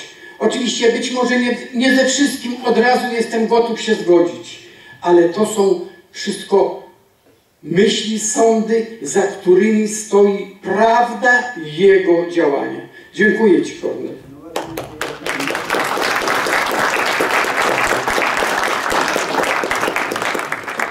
Y, je- je- Ile jeszcze pytań, bo tak około pół godziny zostało, tu Pan będzie chciał pytanie zadać, ktoś jeszcze ewentualnie chce pytanie zadać? Jeszcze jedno pytanie, dobra, to tu koledzy i potem jeszcze Pan. Radek Świeciński, Związek Strzelecki, strzelec imienia Józefa Piłsudskiego. Ja mam do Pana takie pytanie. Czy Pan znał Pana Wojciecha Zielińskiego? Jeśli tak, to proszę tylko w pięciu minutach powiedzieć wszystkim tutaj obywatelom Opola, kto, co to był za człowiek. A ja chciałem tylko powiedzieć jeszcze, jest program nagrany na trzy miesiące przed śmiercią tego wielkiego Polaka, e, nagrany przez panią Ali, Alicję Czerniakowską. Był taki ktoś. Jeśli ktoś to oglądał, to wie o, czym teraz ja mówię. Jeśli ktoś tego nie oglądał, to proszę to oglądnąć, zobaczyć i wtedy pan, tutaj jeszcze pan Kornel, może tylko te 5 minut i przywróćmy do tego, co było powiedziane przez tego człowieka, bo kiedy tak patrzę na pana teraz, to widzę to równie. Jestem dumny z tego, że może dzisiaj jeszcze mogę panu też rękę podać. Dziękuję bardzo.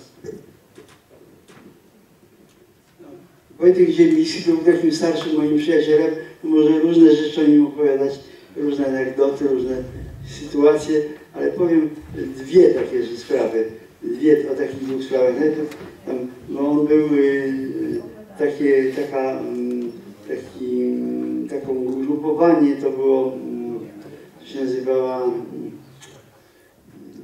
Służba Wolności Rzeczpospolitej, tak? Takie, takie ugrupowanie, tak? Wierności, czy Służba Wierności Rzeczpospolitej, tak? On był szefem takiego ugrupowania, tak? Ale on jednym był z założycieli również e, e, ruchu praw obrony człowieka i obywatela, ROBCio. On był jednym z tych założycieli, tak? I tam bardzo dobrze poznał Leszka Moszulskiego. No to ta historia potem o Leszku Moszulskim, KPN, to wszystko, Państwo może niektóre wie- żyjecie, ale ja pamiętam Wojtka Ziemińskiego, do mnie takie zdanie, mówi Kornel, mówi, tu uważaj, co ci Leszek mówi, bo on ci powie prawdę, jak się pomyli.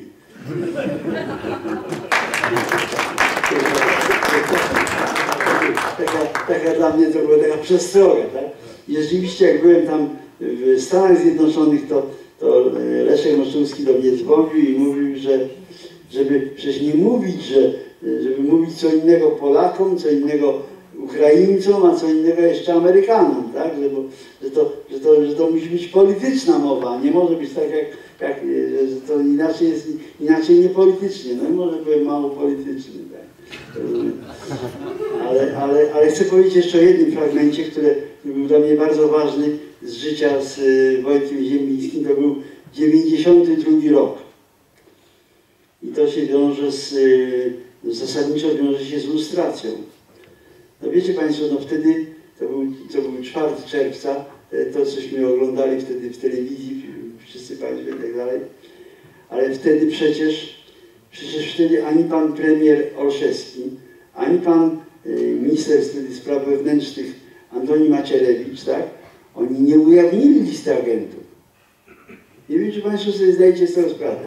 Ta lista agentów y, była podana szefom klubów parlamentarnych w Polsce, W tajnych kopertach. tak, ta lista agentów, tak, ale lista dwóch agentów, krótka lista agentów, mianowicie lista, na, tej, na której byli, na której były dwa nazwiska, czyli pana prezydenta Lecha Wałęsy i pana marszałka Sejmu, pana e, Wiesława Chrzanowskiego. To ta lista była podana do wiadomości sześciu osobom w państwie. Mianowicie tak, prezydentowi, marszałkowi, którzy byli tymi agentami, marszałkowi Senatu, e, premierowi, sę- sędziemu Sądu Najwyższego i sędziemu Sądu Konstytucyjnego i przewodniczącemu Trybunału Konstytucyjnego, tak? Te sześć osób w państwie komunistę miało tylko, tak? Więcej nie miał. Macierewicz tej listy tych dwóch nazwisk nie udostępnił nawet szefom klubów parlamentarnych, tak? tak? I teraz jedyną osobą, która podniosła ten temat w Sejmie, to był już świętej pamięci żyjący Kazimierz Świdon. On wykrzyczał, że, że tutaj mm, y, agentem jest pan prezydent, tak? On to, on to powiedział, tak? Ale na zewnątrz nikt tego nie powiedział. Nikt nie powiedział, no Świtoń był takim trochę oryginałem, tak, no i potraktowali tak, tam Wałęsa się śmiał z, z, z, z galerii wtedy, siedział na galerii się śmiał, tak? Ale, ale teraz ja, ja stałem przed takim dylematem i te dwa nazwiska ja się dowiedziałem od Wojtka Ziemińskiego, bo Wojtek Ziemiński był przyjacielem Jana Olszewskiego. I Wojtek mi powiedział, Kornel mówi, to na pewno jest tak, to, to i możesz to publikować. I wtedy ja tą listę z tymi dwoma nazwiskami opublikowałem. Ale opublikowałem, nawet, nawet nie miałem tu poparcia ani Andrzeja Gwiazdy, ani Ani Walentynowicz, bo ona nie chciała się podpisać pod tym nawet. Nie podpisali się.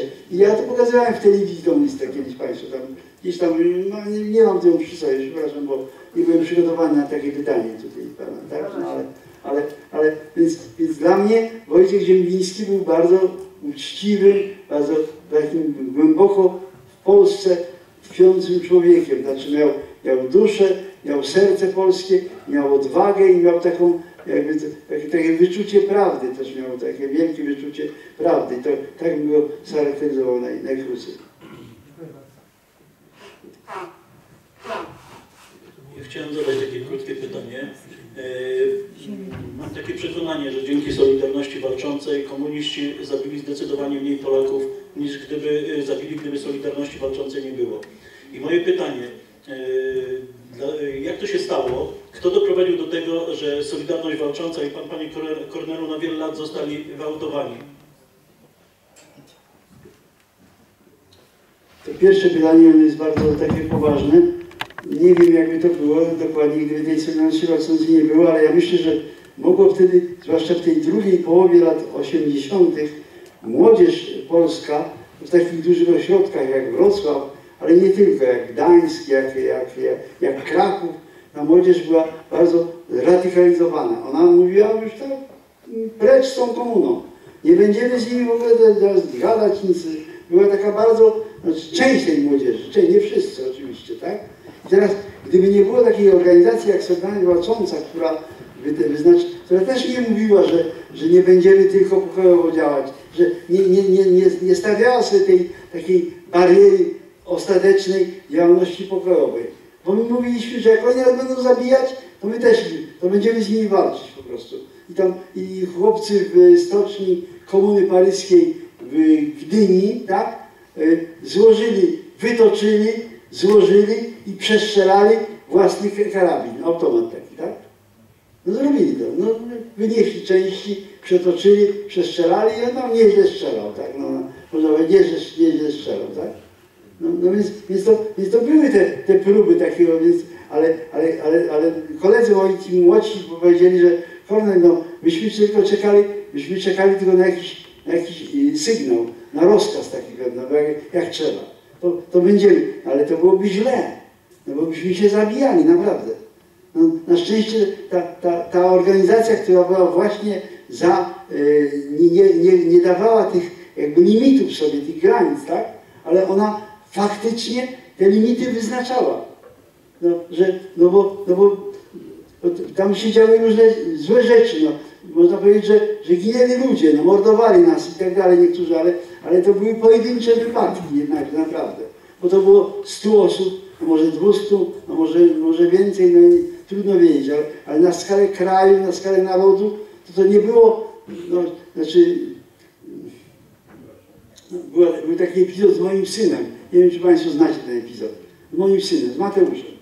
On miał wtedy, nie wiem ile tam, 13, 14 lat, no i on tam mógł mieć może 15, już nie pamiętam. Ze szkoły go yy, zwinięto, jak szedł do domu ze szkoły, go zwinęli, wieźli go do lasu, tam parę razy mu dali po pysku i kazali mu yy, powiedzieć, gdzie ojciec, jeszcze jakieś tam informacje o ojcu, tak? A potem dali mu łopatę i kazali sobie grób kopać w lesie, tak? Temu chłopcu. Oczywiście skończyło się tak, że go puścili, no ale w nocy tam jest 20 km szedł, no nie było telefonów komórkowych, więc, więc tam się rodzina martwiła, co się stało i tak dalej, no doszedł, nic się nie stało, tam dostał parę razy po gębie. No nic mu się nie stało tam specjalnie poważnego, tak, tak. No ale, ale tak, no i więc, więc to jest taki epizod, tak? Ale po tym, przecież, nie? ale po tym, no ja rozumiem, no nam przeszkodziło, może, może było zahartowało trochę może. Ale, ale, po tym, ale po tym incydencie, o którym moi koledzy mi nawet nie powiedzieli, żeby mnie nie straszyć, żeby mnie, dopiero potem się dowiedziałem, ma tych parę miesięcy, czy pół roku, czy dłużej po tym, tak? Oni postanowili, że no przecież nie możemy tego tak bezkarnie zostawić. No nie możemy zostawić, żeby oni nas tutaj straszyli, żeby dzieci nasze, żeby nasze dzieci tam e, wywozili do lasu i tak dalej. No i mieliśmy taki, taki, taki wewnętrzny taki układ u, u szefa Błażejskiego.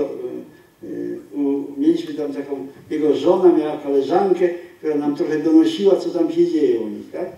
No i, i, i, i przez ten, ten układ dowiedzieliśmy się, że Błażejski, ten, ten szef y, SB we Wrocławiu ma altankę na działce. Ma działkę, jaką ma altankę na działce. No i koledzy powiedzieli, to my mu tą altankę spalili, tak? Mu spalili. No i wyszło tak po polsku, spalili sąsiadowi. Pomylili się tam. Ale, no ale jakiś, jakiś sygnał poszedł. Ale, ale jaki sygnał poszedł. Więc to jest taka, to jest taka odpowiedź na Pana, ten, tak, na Pana to pytanie, to, to takie zasadnicze pytanie, że być może, ja też uważam, że, że walka czasem się opłaca, bo no, nawet, nawet e, no,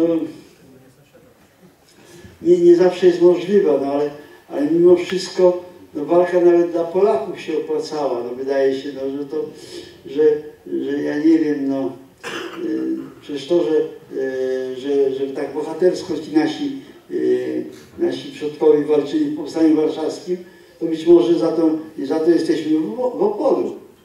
No przecież to Opole nam dał Stalin. I Wrocław dał nam Stalin.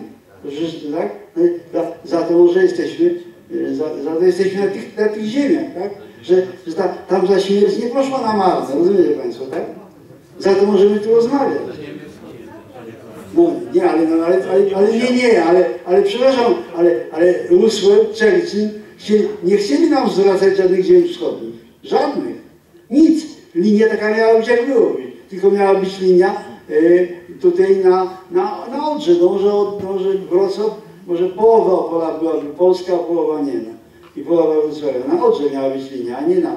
No i to nie na pewno Poznań, no tam, rozumiecie Państwo, no, lekko tam, ale nie mieli tam, więc to, więc to jest po prostu, więc y, jak to ta historia, to się plecie różnymi drogami, no i to czasem śmierć nawet tysięcy czy, czy, czy, czy setek tysięcy ludzi się opłaca tej, tej społeczności, bo ona coś potem zyskuje, coś zyskuje ważnego. No, myślę, że gdyby, gdyby nie to, to może byśmy byli yy, Republiką Sowiecką, może by komunizm nie upadł, może by doszło do katastrofy nuklearnej i może by nie było naszej cywilizacji. No można też tak powiedzieć. Na pewno, że to co mówię to jest taka projekcja bardzo daleka i ona to jest i nie ma, ale, no, ale no rzeczywiście no. No, to, to, no, to, no właśnie, to jest, to jest takie, tak, to jest, ale to jest, ale czasem warto walczyć o, o swoje, no. Nie uginać tej szyi przed, przed, przed, przed mocami, tak? Nawet, nawet przed mocami, tak? Nie uginać tej szyi. Zawsze, zawsze warto. Zawsze. Kompromis. Zawsze. Ja po, pomalutku, ja serdecznie o Pan... odsunięciu Solidarności, żeby nie miała wpływu y, na y, narodzącą się To się robi przez te lata. No to-. No to jest y, też jakby taki trochę też o tej Solidarności walczącej odsunięciu, no. Myśmy jej trochę to ułatwili, bo, ale, te, ale zaraz powiem na czym to polegało, bo, bo, bo my w podziemiu nawet, ludzie Solidarności walczącej, ale porządnych Polaków większość uważała, bo władza nam się kojarzyła wtedy z komunizmem, bo to była władza. I myśmy w programie Solidarności Walczącej mieli bardzo śmiałe e, jakby zamysły, czy to ustrojowe, czy to geopolityczne, bo, bo jedynie, jak mówiłem, e, żeśmy głosili hasło rozpadu Związku Sowieckiego, tak? Tego nie głosili ani Ukraińcy, ani nie głosili to zjednoczenia Niemiec. Czy Niemcy mówili o zjednoczeniu Niemiec? To właściwie no jak? Tak? A myśmy to mówili wtedy, tak? Więc różne rzeczy mówiliśmy wtedy. E, Także, ale, e, ale mieliśmy jedną taką słabość strukturalną w tym swoim programie. Myśmy to e, opublikowali, to jest w naszym programie, że my chcemy demokracji w Polsce, chcemy tę władzę pozbawić władzy, ale my władzy dla siebie nie chcemy. No to jak żeście jej nie chcieli, toście jej nie mieli. Że tak? No to, no to, to nie jest tak. Znaczy, myśmy mieli te, myśmy te sami już skażeni, że władza to jest coś złego, że władza to jest coś negatywnego, tak? Nie mieliśmy tego poczucia, że władza to jest rzecz na rzecz społeczeństwa, że to jest, że to jest odpowiedzialność, że to jest misja, służba i tak dalej. Rozumiecie Państwo, tak? Pod tym względem byliśmy głupi. Byliśmy jakby na cytacji niedojrzali. No to, to, to prawda, to trzeba powiedzieć. Ale, ale, to, ale to nie usprawiedliwia tych, którzy nas potem marginalizowali, bo byliśmy w 90, e, nie, w 89 na wiosnę, tuż po e, okrągłym stole, wyszły dwie e, gazety. Gazeta Wyborcza i Tygodnik Solidarność przywrócił się. Tygodnik Solidarność. Tego Tygodnika Solidarność redaktorem naczelnym, tak jak, tak jak e, tych 9 lat temu, został znowu e, Tadeusz Mazowiecki, tak? I w, chyba w pierwszym czy w drugim numerze nowym e, tej edycji Tygodnika Solidarność jest kalendarium lat 80. I, w tym, wtedy, w 89 roku, wyobraźcie Państwo sobie, gdzie Solidarność Walcząca była w końcówce tego podziemia, była prawie tak samo silna jak Solidarność, albo silniejsza organizacyjnie, tak? To nie ma nawet y, hasła, nie ma słowa Solidarność Walcząca. Moje skromne nazwisko tam jest wymienione w jakimś kontekście aresztowania czy czegoś, ale, ale słowa, że, że byłem przywódcą Solidarności Walczącej, że, że była taka organizacja, tego w ogóle nie ma. Możecie Państwo sobie się sięgnąć do, do, do archiwum i zobaczyć. To jest 89 rok, wiosna, pierwszy albo drugi numer tygodnika Solidarność. Kalendarium Solidarności Walczącej. Bo ja to wtedy przeżywałem. Ja to, ja to wtedy, a wtedy redaktorem naczelnym był e, pan e, Mazowiecki, wtedy, wtedy w redakcji był e, mój kolega Krzysiek Wyszkowski. No, no, no to nie było tego, rozumiecie Państwo, nie było tego. Więc to, więc myśmy byli pewnym takim wyrzutem, bo myśmy go nie godziliśmy na ten układ. My byliśmy jacy niewygodni byliśmy wtedy i trochę niewygodni jesteśmy też teraz. To nie jest tak, że jesteśmy wygodni do końca. Tak? To, nie, to też nie jest tak.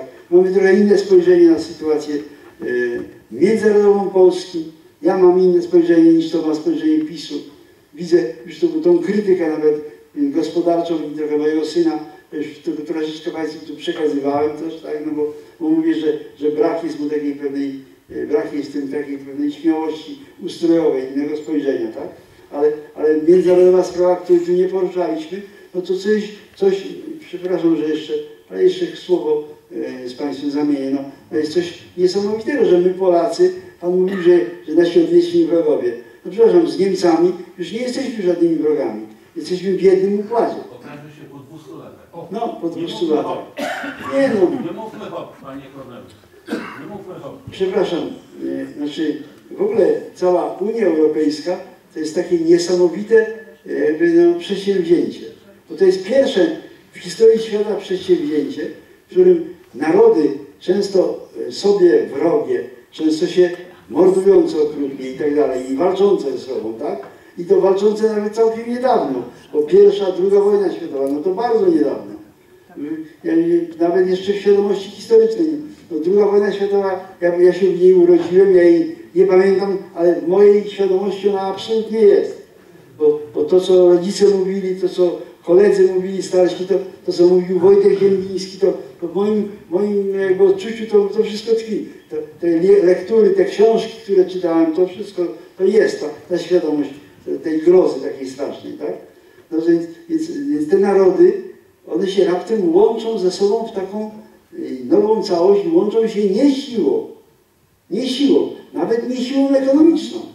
Oni nas trochę przekupują, dają nam pieniądze, ale, ale po prostu my, te narody chcą się same łączyć między sobą. I to się stała, i to się stała bardzo ciekawa taka nowa jakość, ta Unia Europejska. To jest nowa rzeczywistość taka polityczna, nowa rzeczywistość kulturowa, społeczna. Teraz, no, być może będzie tak źle, że my z Niemcami jeszcze się poróżnimy i jeszcze raz za 200 lat, jak Pan mówi, będzie coś, to będzie coś ponurego, tak? Ale no nie wydaje się. Słabną te, y, te jakby te, te nacjonalne takie e, niemieckie siły. No przecież ten, ich pomysł, to był potężny naród. Ten ich pomysł, żeby, żeby zawoływać świat, albo pomysł Japończyków, żeby to samo zrobić, tak? Przecież to, to śmiałe strasznie narody. To trzeba tak trochę, y, znaczy zbrodnicze, ale śmiałe. Trzeba też tak jak, jak zrozumieć to, tak? Natomiast, natomiast jaka będzie przyszłość historyczna nas Polaków, nas Niemców i nas Rosjan, to nie wiemy. No ale, przecież ci, ale przecież my tych Rosjan, proszę Państwa, no nie, nie my pokonaliśmy tę, tę komunę, to my naprawdę, my Polacy, to papież, Reagan, no co, myśmy pokonali tych, tych Rosjan tak jak Rosjanie Niemców z II wojny światowej? Abso, absolutnie nie. No właśnie, no kto ich pokonał? O to chodzi, o to chodzi. O to chodzi. Oni, oni nie, sensie duchowo oni zrozumieli, że ten komunizm jest, jest y, ślepą uliczką. Że to jest, że to jest, oni to zrozumieli. Bo, bo, bo, bo kiedy, bo kiedy? Oni tego doznali. Przepraszam, nie, nie, zaraz, nie, zaraz, zaraz panu powiem, że zrozumieli. Ja pana przekonam, za chwilę, podyskutuję z panem, bo pan mówi, że to znali, tak? Ale, ale zaraz, nieraz pogadamy. Zapytam pana, a kiedy upadł komunizm? Kiedy? W którym momencie upadł komunizm? Najprędzej to Golicy, najprędzej Co, co? Golicy no Jakie? Golicy. Górnicy? Golicy. Golicyn pisał o tym, tak pan mówi. Kiedy? Golicyn pisał o tym, tak? Ale no, no nie, ale nawet co Golicyn pisał, ale co pisał Golicyn, ale, ale kiedy upadł? według mnie, Tak. jak umarł Stalin. To jest początek końca. Oni nie mieli wizji, nie wiedzieli, co z tym fantem zrobić. Nikt. Z No, elit wie pan, no, rosyjskich. ale no to, no to, to, jest, to walczyliśmy z wiatrakami, to Solidarność walcząca to była, to nie było komunistów? To była potęga, ale ona No nie. nie. miała wizji istnienia w świecie i No nie. wszystko, co było do przegrania, to przegrali. Nie, przepraszam, no, zaraz, zaraz, przepraszam, no, oni wizję mieli, bo oni mieli wizję komunizmu. I oni działali, oni nawet, oni nawet, te, nawet ten, te, ta ich siła, nawet polska siła gospodarcza, przecież my w porównaniu z, z poziomem jakby no, życia e, ekonomicznego naszego, tak, to jak się kończył komunizm, albo jak się przynajmniej kończyła epoka Gierka, to byliśmy bardziej jakby na, e, na, na, na, na, na, na, na, na obszarze państw światowych, na wyższym poziomie ekonomicznym niż teraz jesteśmy. To jest to trzeba prawdę powiedzieć.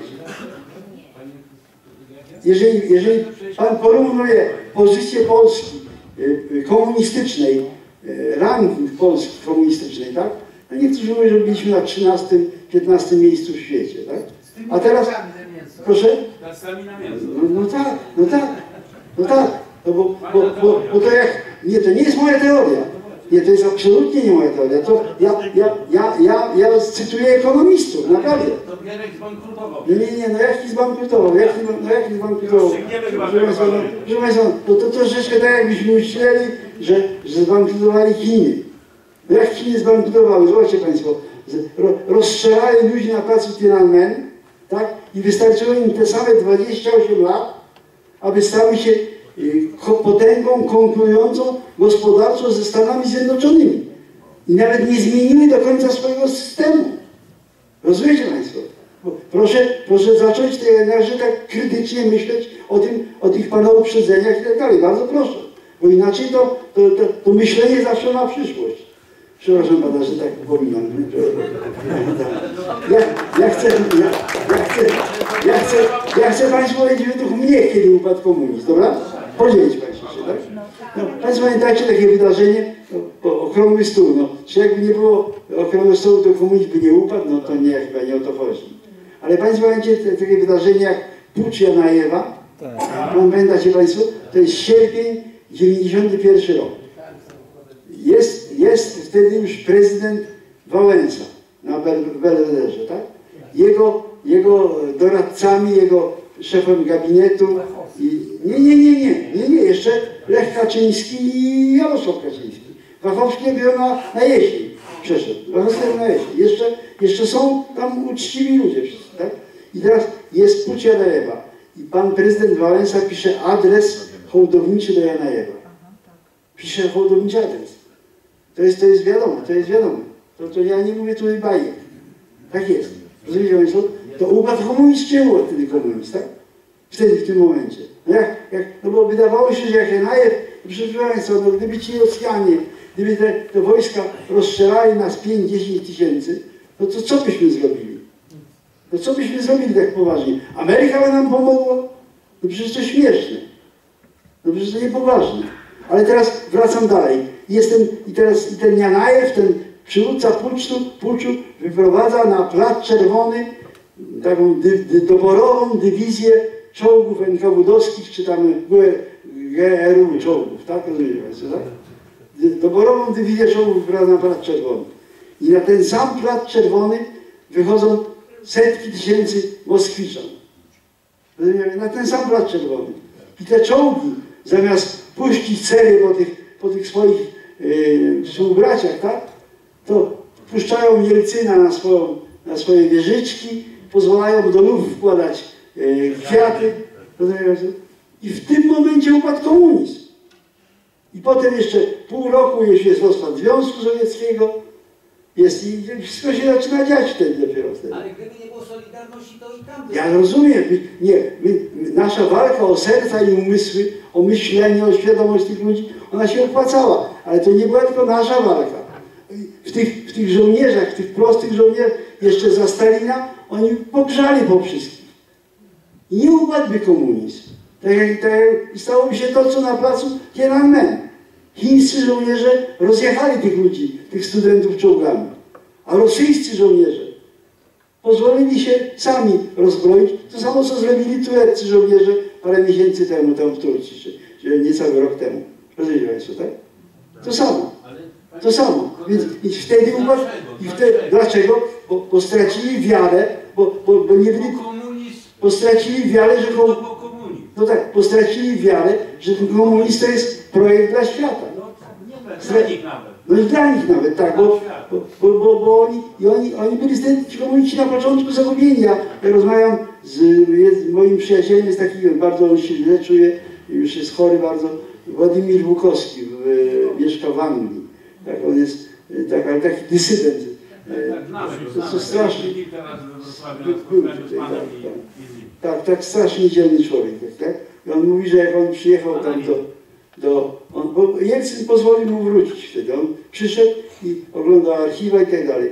On mówi, to nastrój w Moskwie był wtedy taki, że ci komuniści, gdyby ich wsadzić na dwa statki i wywieźć na bezludną wyspę, to by nas całowali po rękach, bo oni wiedzieli, że byli winni, że sprowadzowali nieszczęścia, śmierć, kłamstwo, yy, gospodarczy. tak, krach gospodarczy, wszystko wiedzieli, tak?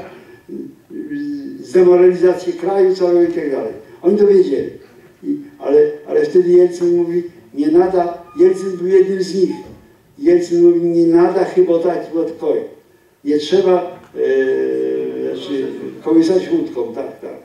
No bo, a mówi, a, a po paru miesiącach, po pół roku, no to oni tak samo już zaczęli przyjmować tą samą pozę, co, co polscy komuniści, już się otorbili, nakradli, już zaczęli tego, no i teraz, i teraz jeden z komunistów, Putin jest, y, jest y, prezydentem Rosji, tak? No ale, ale jaki to sens, proszę Państwa, polityce zagrodowej, międzynarodowej, żebyśmy my Polacy byli nastawiani przeciwko Rosjanom, a Rosjanie przeciwko Polakom.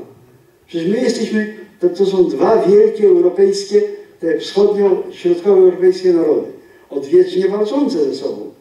No ale przecież, ale przecież tą, tą wolność te narody odzyskały nie tylko nasze, ale tą wolność Ukraińcy są. Ukraińcy wywalczyli sobie wolność od Rosjan?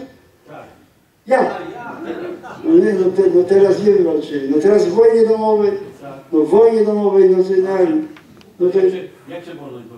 Ale w wojnie domowej cię, Gadaniem czy karabinem? no nie, no, bo gadaniem w dużym stopniu też, tak. No, no myśmy, myśmy gadaniem w dużym stopniu zdobyli. To jest proces. No nie. Jest Polski, no bo jest wydarzenie. Co nie, ale nie, ale, ale to jest, nie- nie chcę tak do końca, e, tylko wracam do tej kwestii międzynarodowej polityki polskiej. No jaki to sens, Żeby mówić teraz, że czeka nas wojna z Rosją. Nie, nikt tak nie mówi. No, no troszeczkę no, przyjmujemy żołnierzy no, amerykańskich na, te same, na te same, e, e, na te same kwatery, na których byli, byli żołnierze rosyjscy. A jak się Trump dogada z Putinem, to i rola ich będzie taka sama jak wojsk rosyjski. No przecież no to no, nie dogada się, no, ale, a jak się nie dogada, no to o co chodzi? Chodzi o to, żeby konflikt był? Chodzi, chcemy wojny? Nuklearnej wojny? To czego chcemy? A Putin chce wojny? No jaki sens? No Putin, który rękami i nogami przez trzy lata broni się, żeby nie wziąć Doniecka i Ługańska. No przecież co, wziął ten Donieck? On grilluje. No ale no, no, no, no broni się. No można się zastanawiać dlaczego. No, ale, po prostu ją no, grilluje. no, no, no nie, ale ja rozumiem. Ja to rozumiem, bo on chce, żeby mu cały Kijów spadł do stóp. Ja to rozumiem, ja to rozumiem, tak? No ale, no ale, no ale, no ale przepraszam, no ale, ale nie robi to militarnie. Ja. No, no ale kto strzela? Ale przecież poszły najpierw, najpierw na, na Donieck i na Ługańsk. Mam prośbę, nie brnij. Błagam. No co, co, co nie brnimy? Brnijmy. No brnijmy daleko. Ukrainy. Nie, nie, ja nie, ja nie mówię, to nie o to chodzi. Ale, ale, ale, nie, ale nie róbmy wrażenia, że my, cóż tam wprowadzamy nieszczęście, bo wprowadzamy nieszczęście, że my wyzwalamy tą Ukrainę.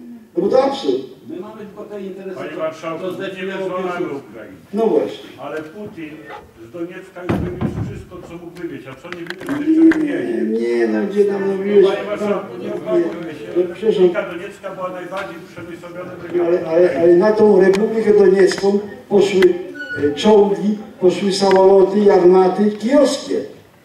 To przecież wojsko ukraińskie tam poszło.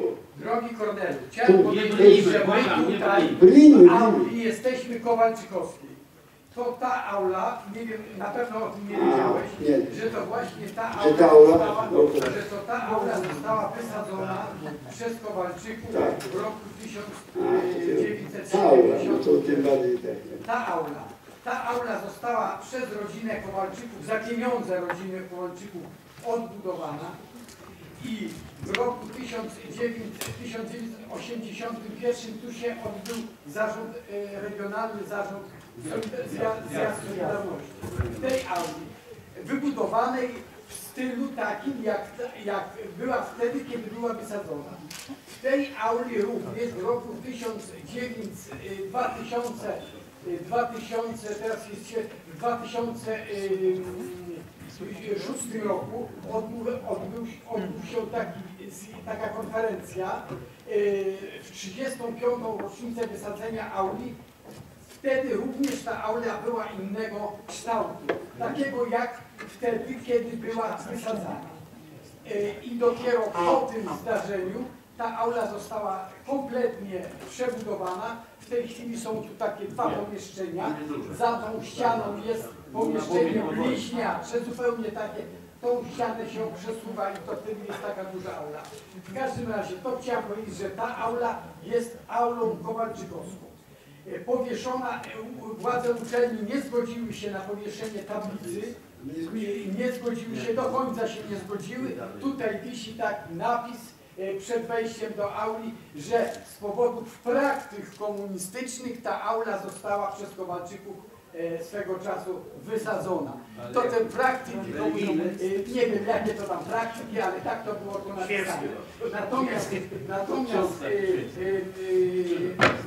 e, była, była wykonana tablica z brązu, tablica przeznaczona do powieszenia najpierw na e, tym budynku, potem na ratuszu. To ni- nie udały się nam te zabiegi i tablica została, ta tablica została w końcu powieszona e, e, w zeszłym roku, e, w październiku, wewnątrz budynku Urzędu Wojewódzkiego. Ta tablica została w największym stopniu wykonana dzięki subwencji, dzięki sponsoringowi banku, w którym pracował twój syn. I tutaj chciałem przekazać, e, jest tutaj e, egzemplarz takiego plakatu, y, na którym jest y, y, y, wizerunek tej, y, tej, y, tej tablicy oraz kilka folderów wydanych z okazji. To, to właśnie chciałem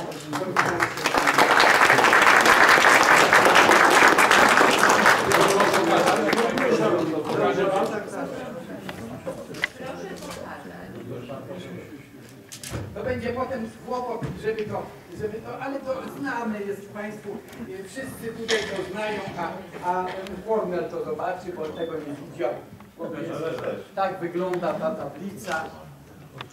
Y, To naszym staraniem Opolskiego Stowarzyszenia Pamięci Narodowej, niech to będzie wypowiedziane, zostało ta, została ta tablica wykonana, ale y, w wie- w wielkim stopniu dzięki subwencji właśnie Banku Zachodniego, którego No, Jurek, ja też dam 5 tysięcy. a ty też Także nie tylko. Panie pośle, jeszcze ostatnie pytanie, jak pan jest czujesz w tych Sejmie, jak pan widzi tą platformę szalą? Przecież ręce opadają, no. Chcę to przyłożyć, no. Tak, żeby pracować. I pan jeszcze mówi Grzegorzu, do niego Grzegorzu. To aż się prosi, żeby przyłożyć, no. Z Baśki, tak, panie Kornelu. W tym roku mamy spotkanie, tak jak w 2012 będzie spotkanie. I następne pytanie, nie, nie, mieszało to, w sprawie Schetyny. Bo y, prosiłem Mariusza Sokołowskiego, ja kiedyś y, ze Zbyszkiem Jagiełą rozmawiałem na ten temat, bo wtedy, gdy w 1988 roku ktoś mnie zakapował, A jednak no. Y, Bo jestem ciekaw, y, bo ja się pytałem y, Zbyszka i zawsze jak się spotykamy, mówię mu, Zbyszek, czy coś o tym wiesz? Bo czemu o tym mówię? Dziennik telewizyjny oglądam, ujawnił się wtedy Jacek Protasiewicz. Podano tego informację, szef podziemnego niezależnego zrzeszenia studentów Uniwersytetu Wrocławskiego ujawnił się. Na drugi dzień wpadli do mnie z puli, weź, y, cały dzień mnie przesłuchiwali, kapitan SB z Wrocławia. Po latach się dowiedziałem, że no bo ten konflikt jest i był między Protasiewiczem a Grześkiem. Kiedyś, kiedyś napisałem do pewnej redakcji, aby się zajęli zamiast pisaniem bzdur, niech się zajmą nie, że ten kapował, tamten kapował, konfliktem i co było przyczyną tego konfliktu ciągłego. Ten konflikt między Schetyną a Protasiewiczem, on się, on się rozgorzał dopiero po, po tym, jak Tusk no, chciał zdyscyplinować Grześka i go tam odsunął po tej, po tej aferze hazardowej, tak, po, tej, po, tej, po tych e, spotkaniach na cmentarzu tam to było. To, to, cało, to dużo wygadać. No, generalnie ja uważam, że tak, że, że w, w stanie wojennym w tych latach 80 ten Grzesiek Schetyna był w porządku, tak sobie myślę, no nie wiem, ani, ani nic IPN na jego temat złego nie mówi i tak dalej, no ale ja nie wiem do końca. Jest to tam jakiś to, poważnych znaków zapytania nie ma, ale potem, tak jak, tak jak część społeczeństwa polskiego, on, on jednakże został y, kupiony, on został jakby, no on był potem tam szefem y, klubu jakiegoś tam WKS-u i tak dalej. No, na nie, nie, tak, nie jego jednego pieniądze go zdemoralizowały, tak mi powiedział generalnie, tak myślę. Tak go teraz... Że był. Co są? Przyznam się sobie, no i Mariusz mówi. Że on był złapany? Nie, już nie pamiętam, nie, nie, nie. Znaczy, nasze drogi, przy okrągłym stole nasze drogi się rozeszły jednakże dosyć mocno. No. Bo to jest, ten okrągły stół był też poważną taką cezurą dla samej Solidarności Walczącej, bo, bo no, można mieć pretensje do Grześka, ale było również trochę uczciwych, bardziej ludzi, którzy do dzisiaj są uczciwi, a, też są za Platformą Obywatelską. To, to jest takie może mało zrozumiałe, ale ten podział, ale ten podział, tak, ale ten podział, ten podział ten narodowy podział, który w Polsce jest, on, on wymaga takiego trochę spojrzenia głębszego. Znaczy, no, to nie jest tak prosto, że, że, że ci, co są w Platformie Obywatelskiej, to są zdrajcy. To nie jest tak. No. No Nie, nie, nie, to nie jest tak, bo to jest, bo, wie- wiecie Państwo, ci młodzi ludzie, którzy, którzy manifestują e, w kodzie, tak, czy wchodzą, oni, dla nich, dla nich się trochę świat wali, jak im się odbiera właśnie tą podstawę e, taką prawną. Oni uważają, że cała, cała istota e, życia społecznego, jak oni przestają wierzyć, przestają mieć inne ideały, to się opiera na prawie. No i jak ja powiedziałem, że prawo nie jest, że nad prawem jest dobro narodu, no to dla nich to było science fiction. To, to oni to uważali, że to jakaś aberracja.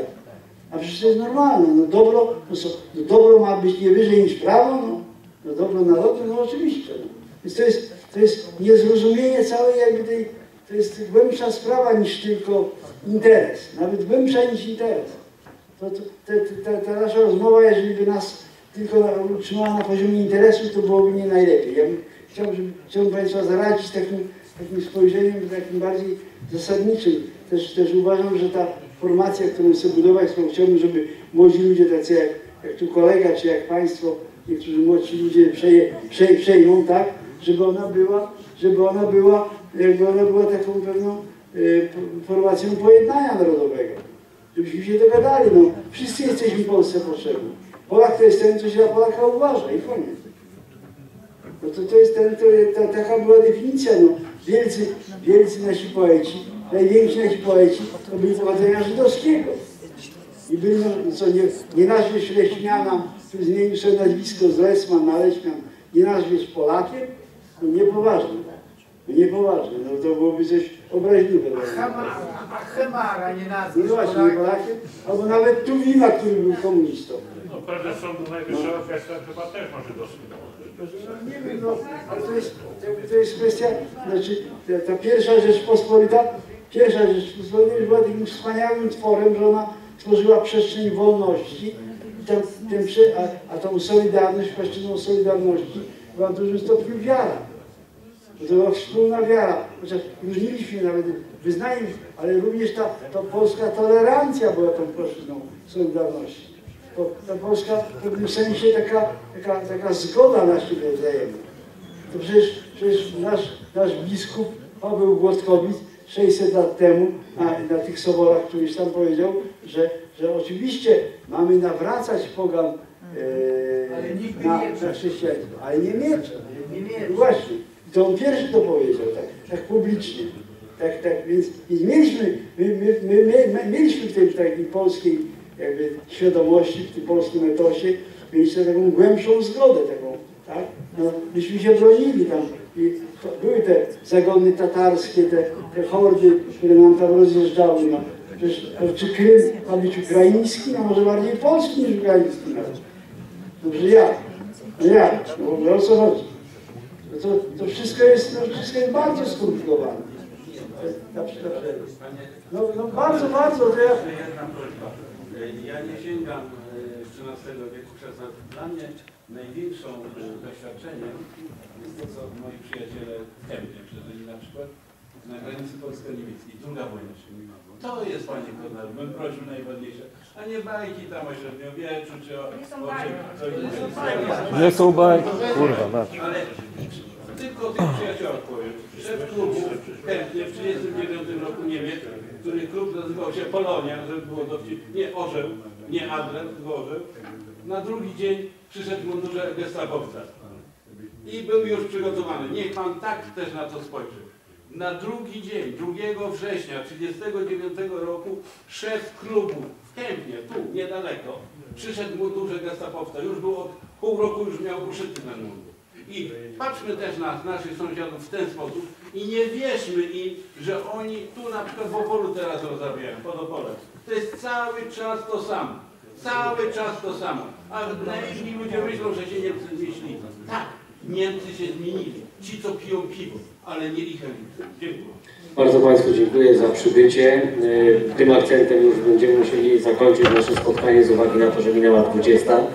Ja chciałbym tylko krótko przypomnieć, że Będziemy się starali e, w ramach nowego tworu e, raz w miesiącu podejmować tutaj na tej auli prele, prelegentów e, z różnych e, dziedzin e, i będziemy starali się do Państwa też docierać.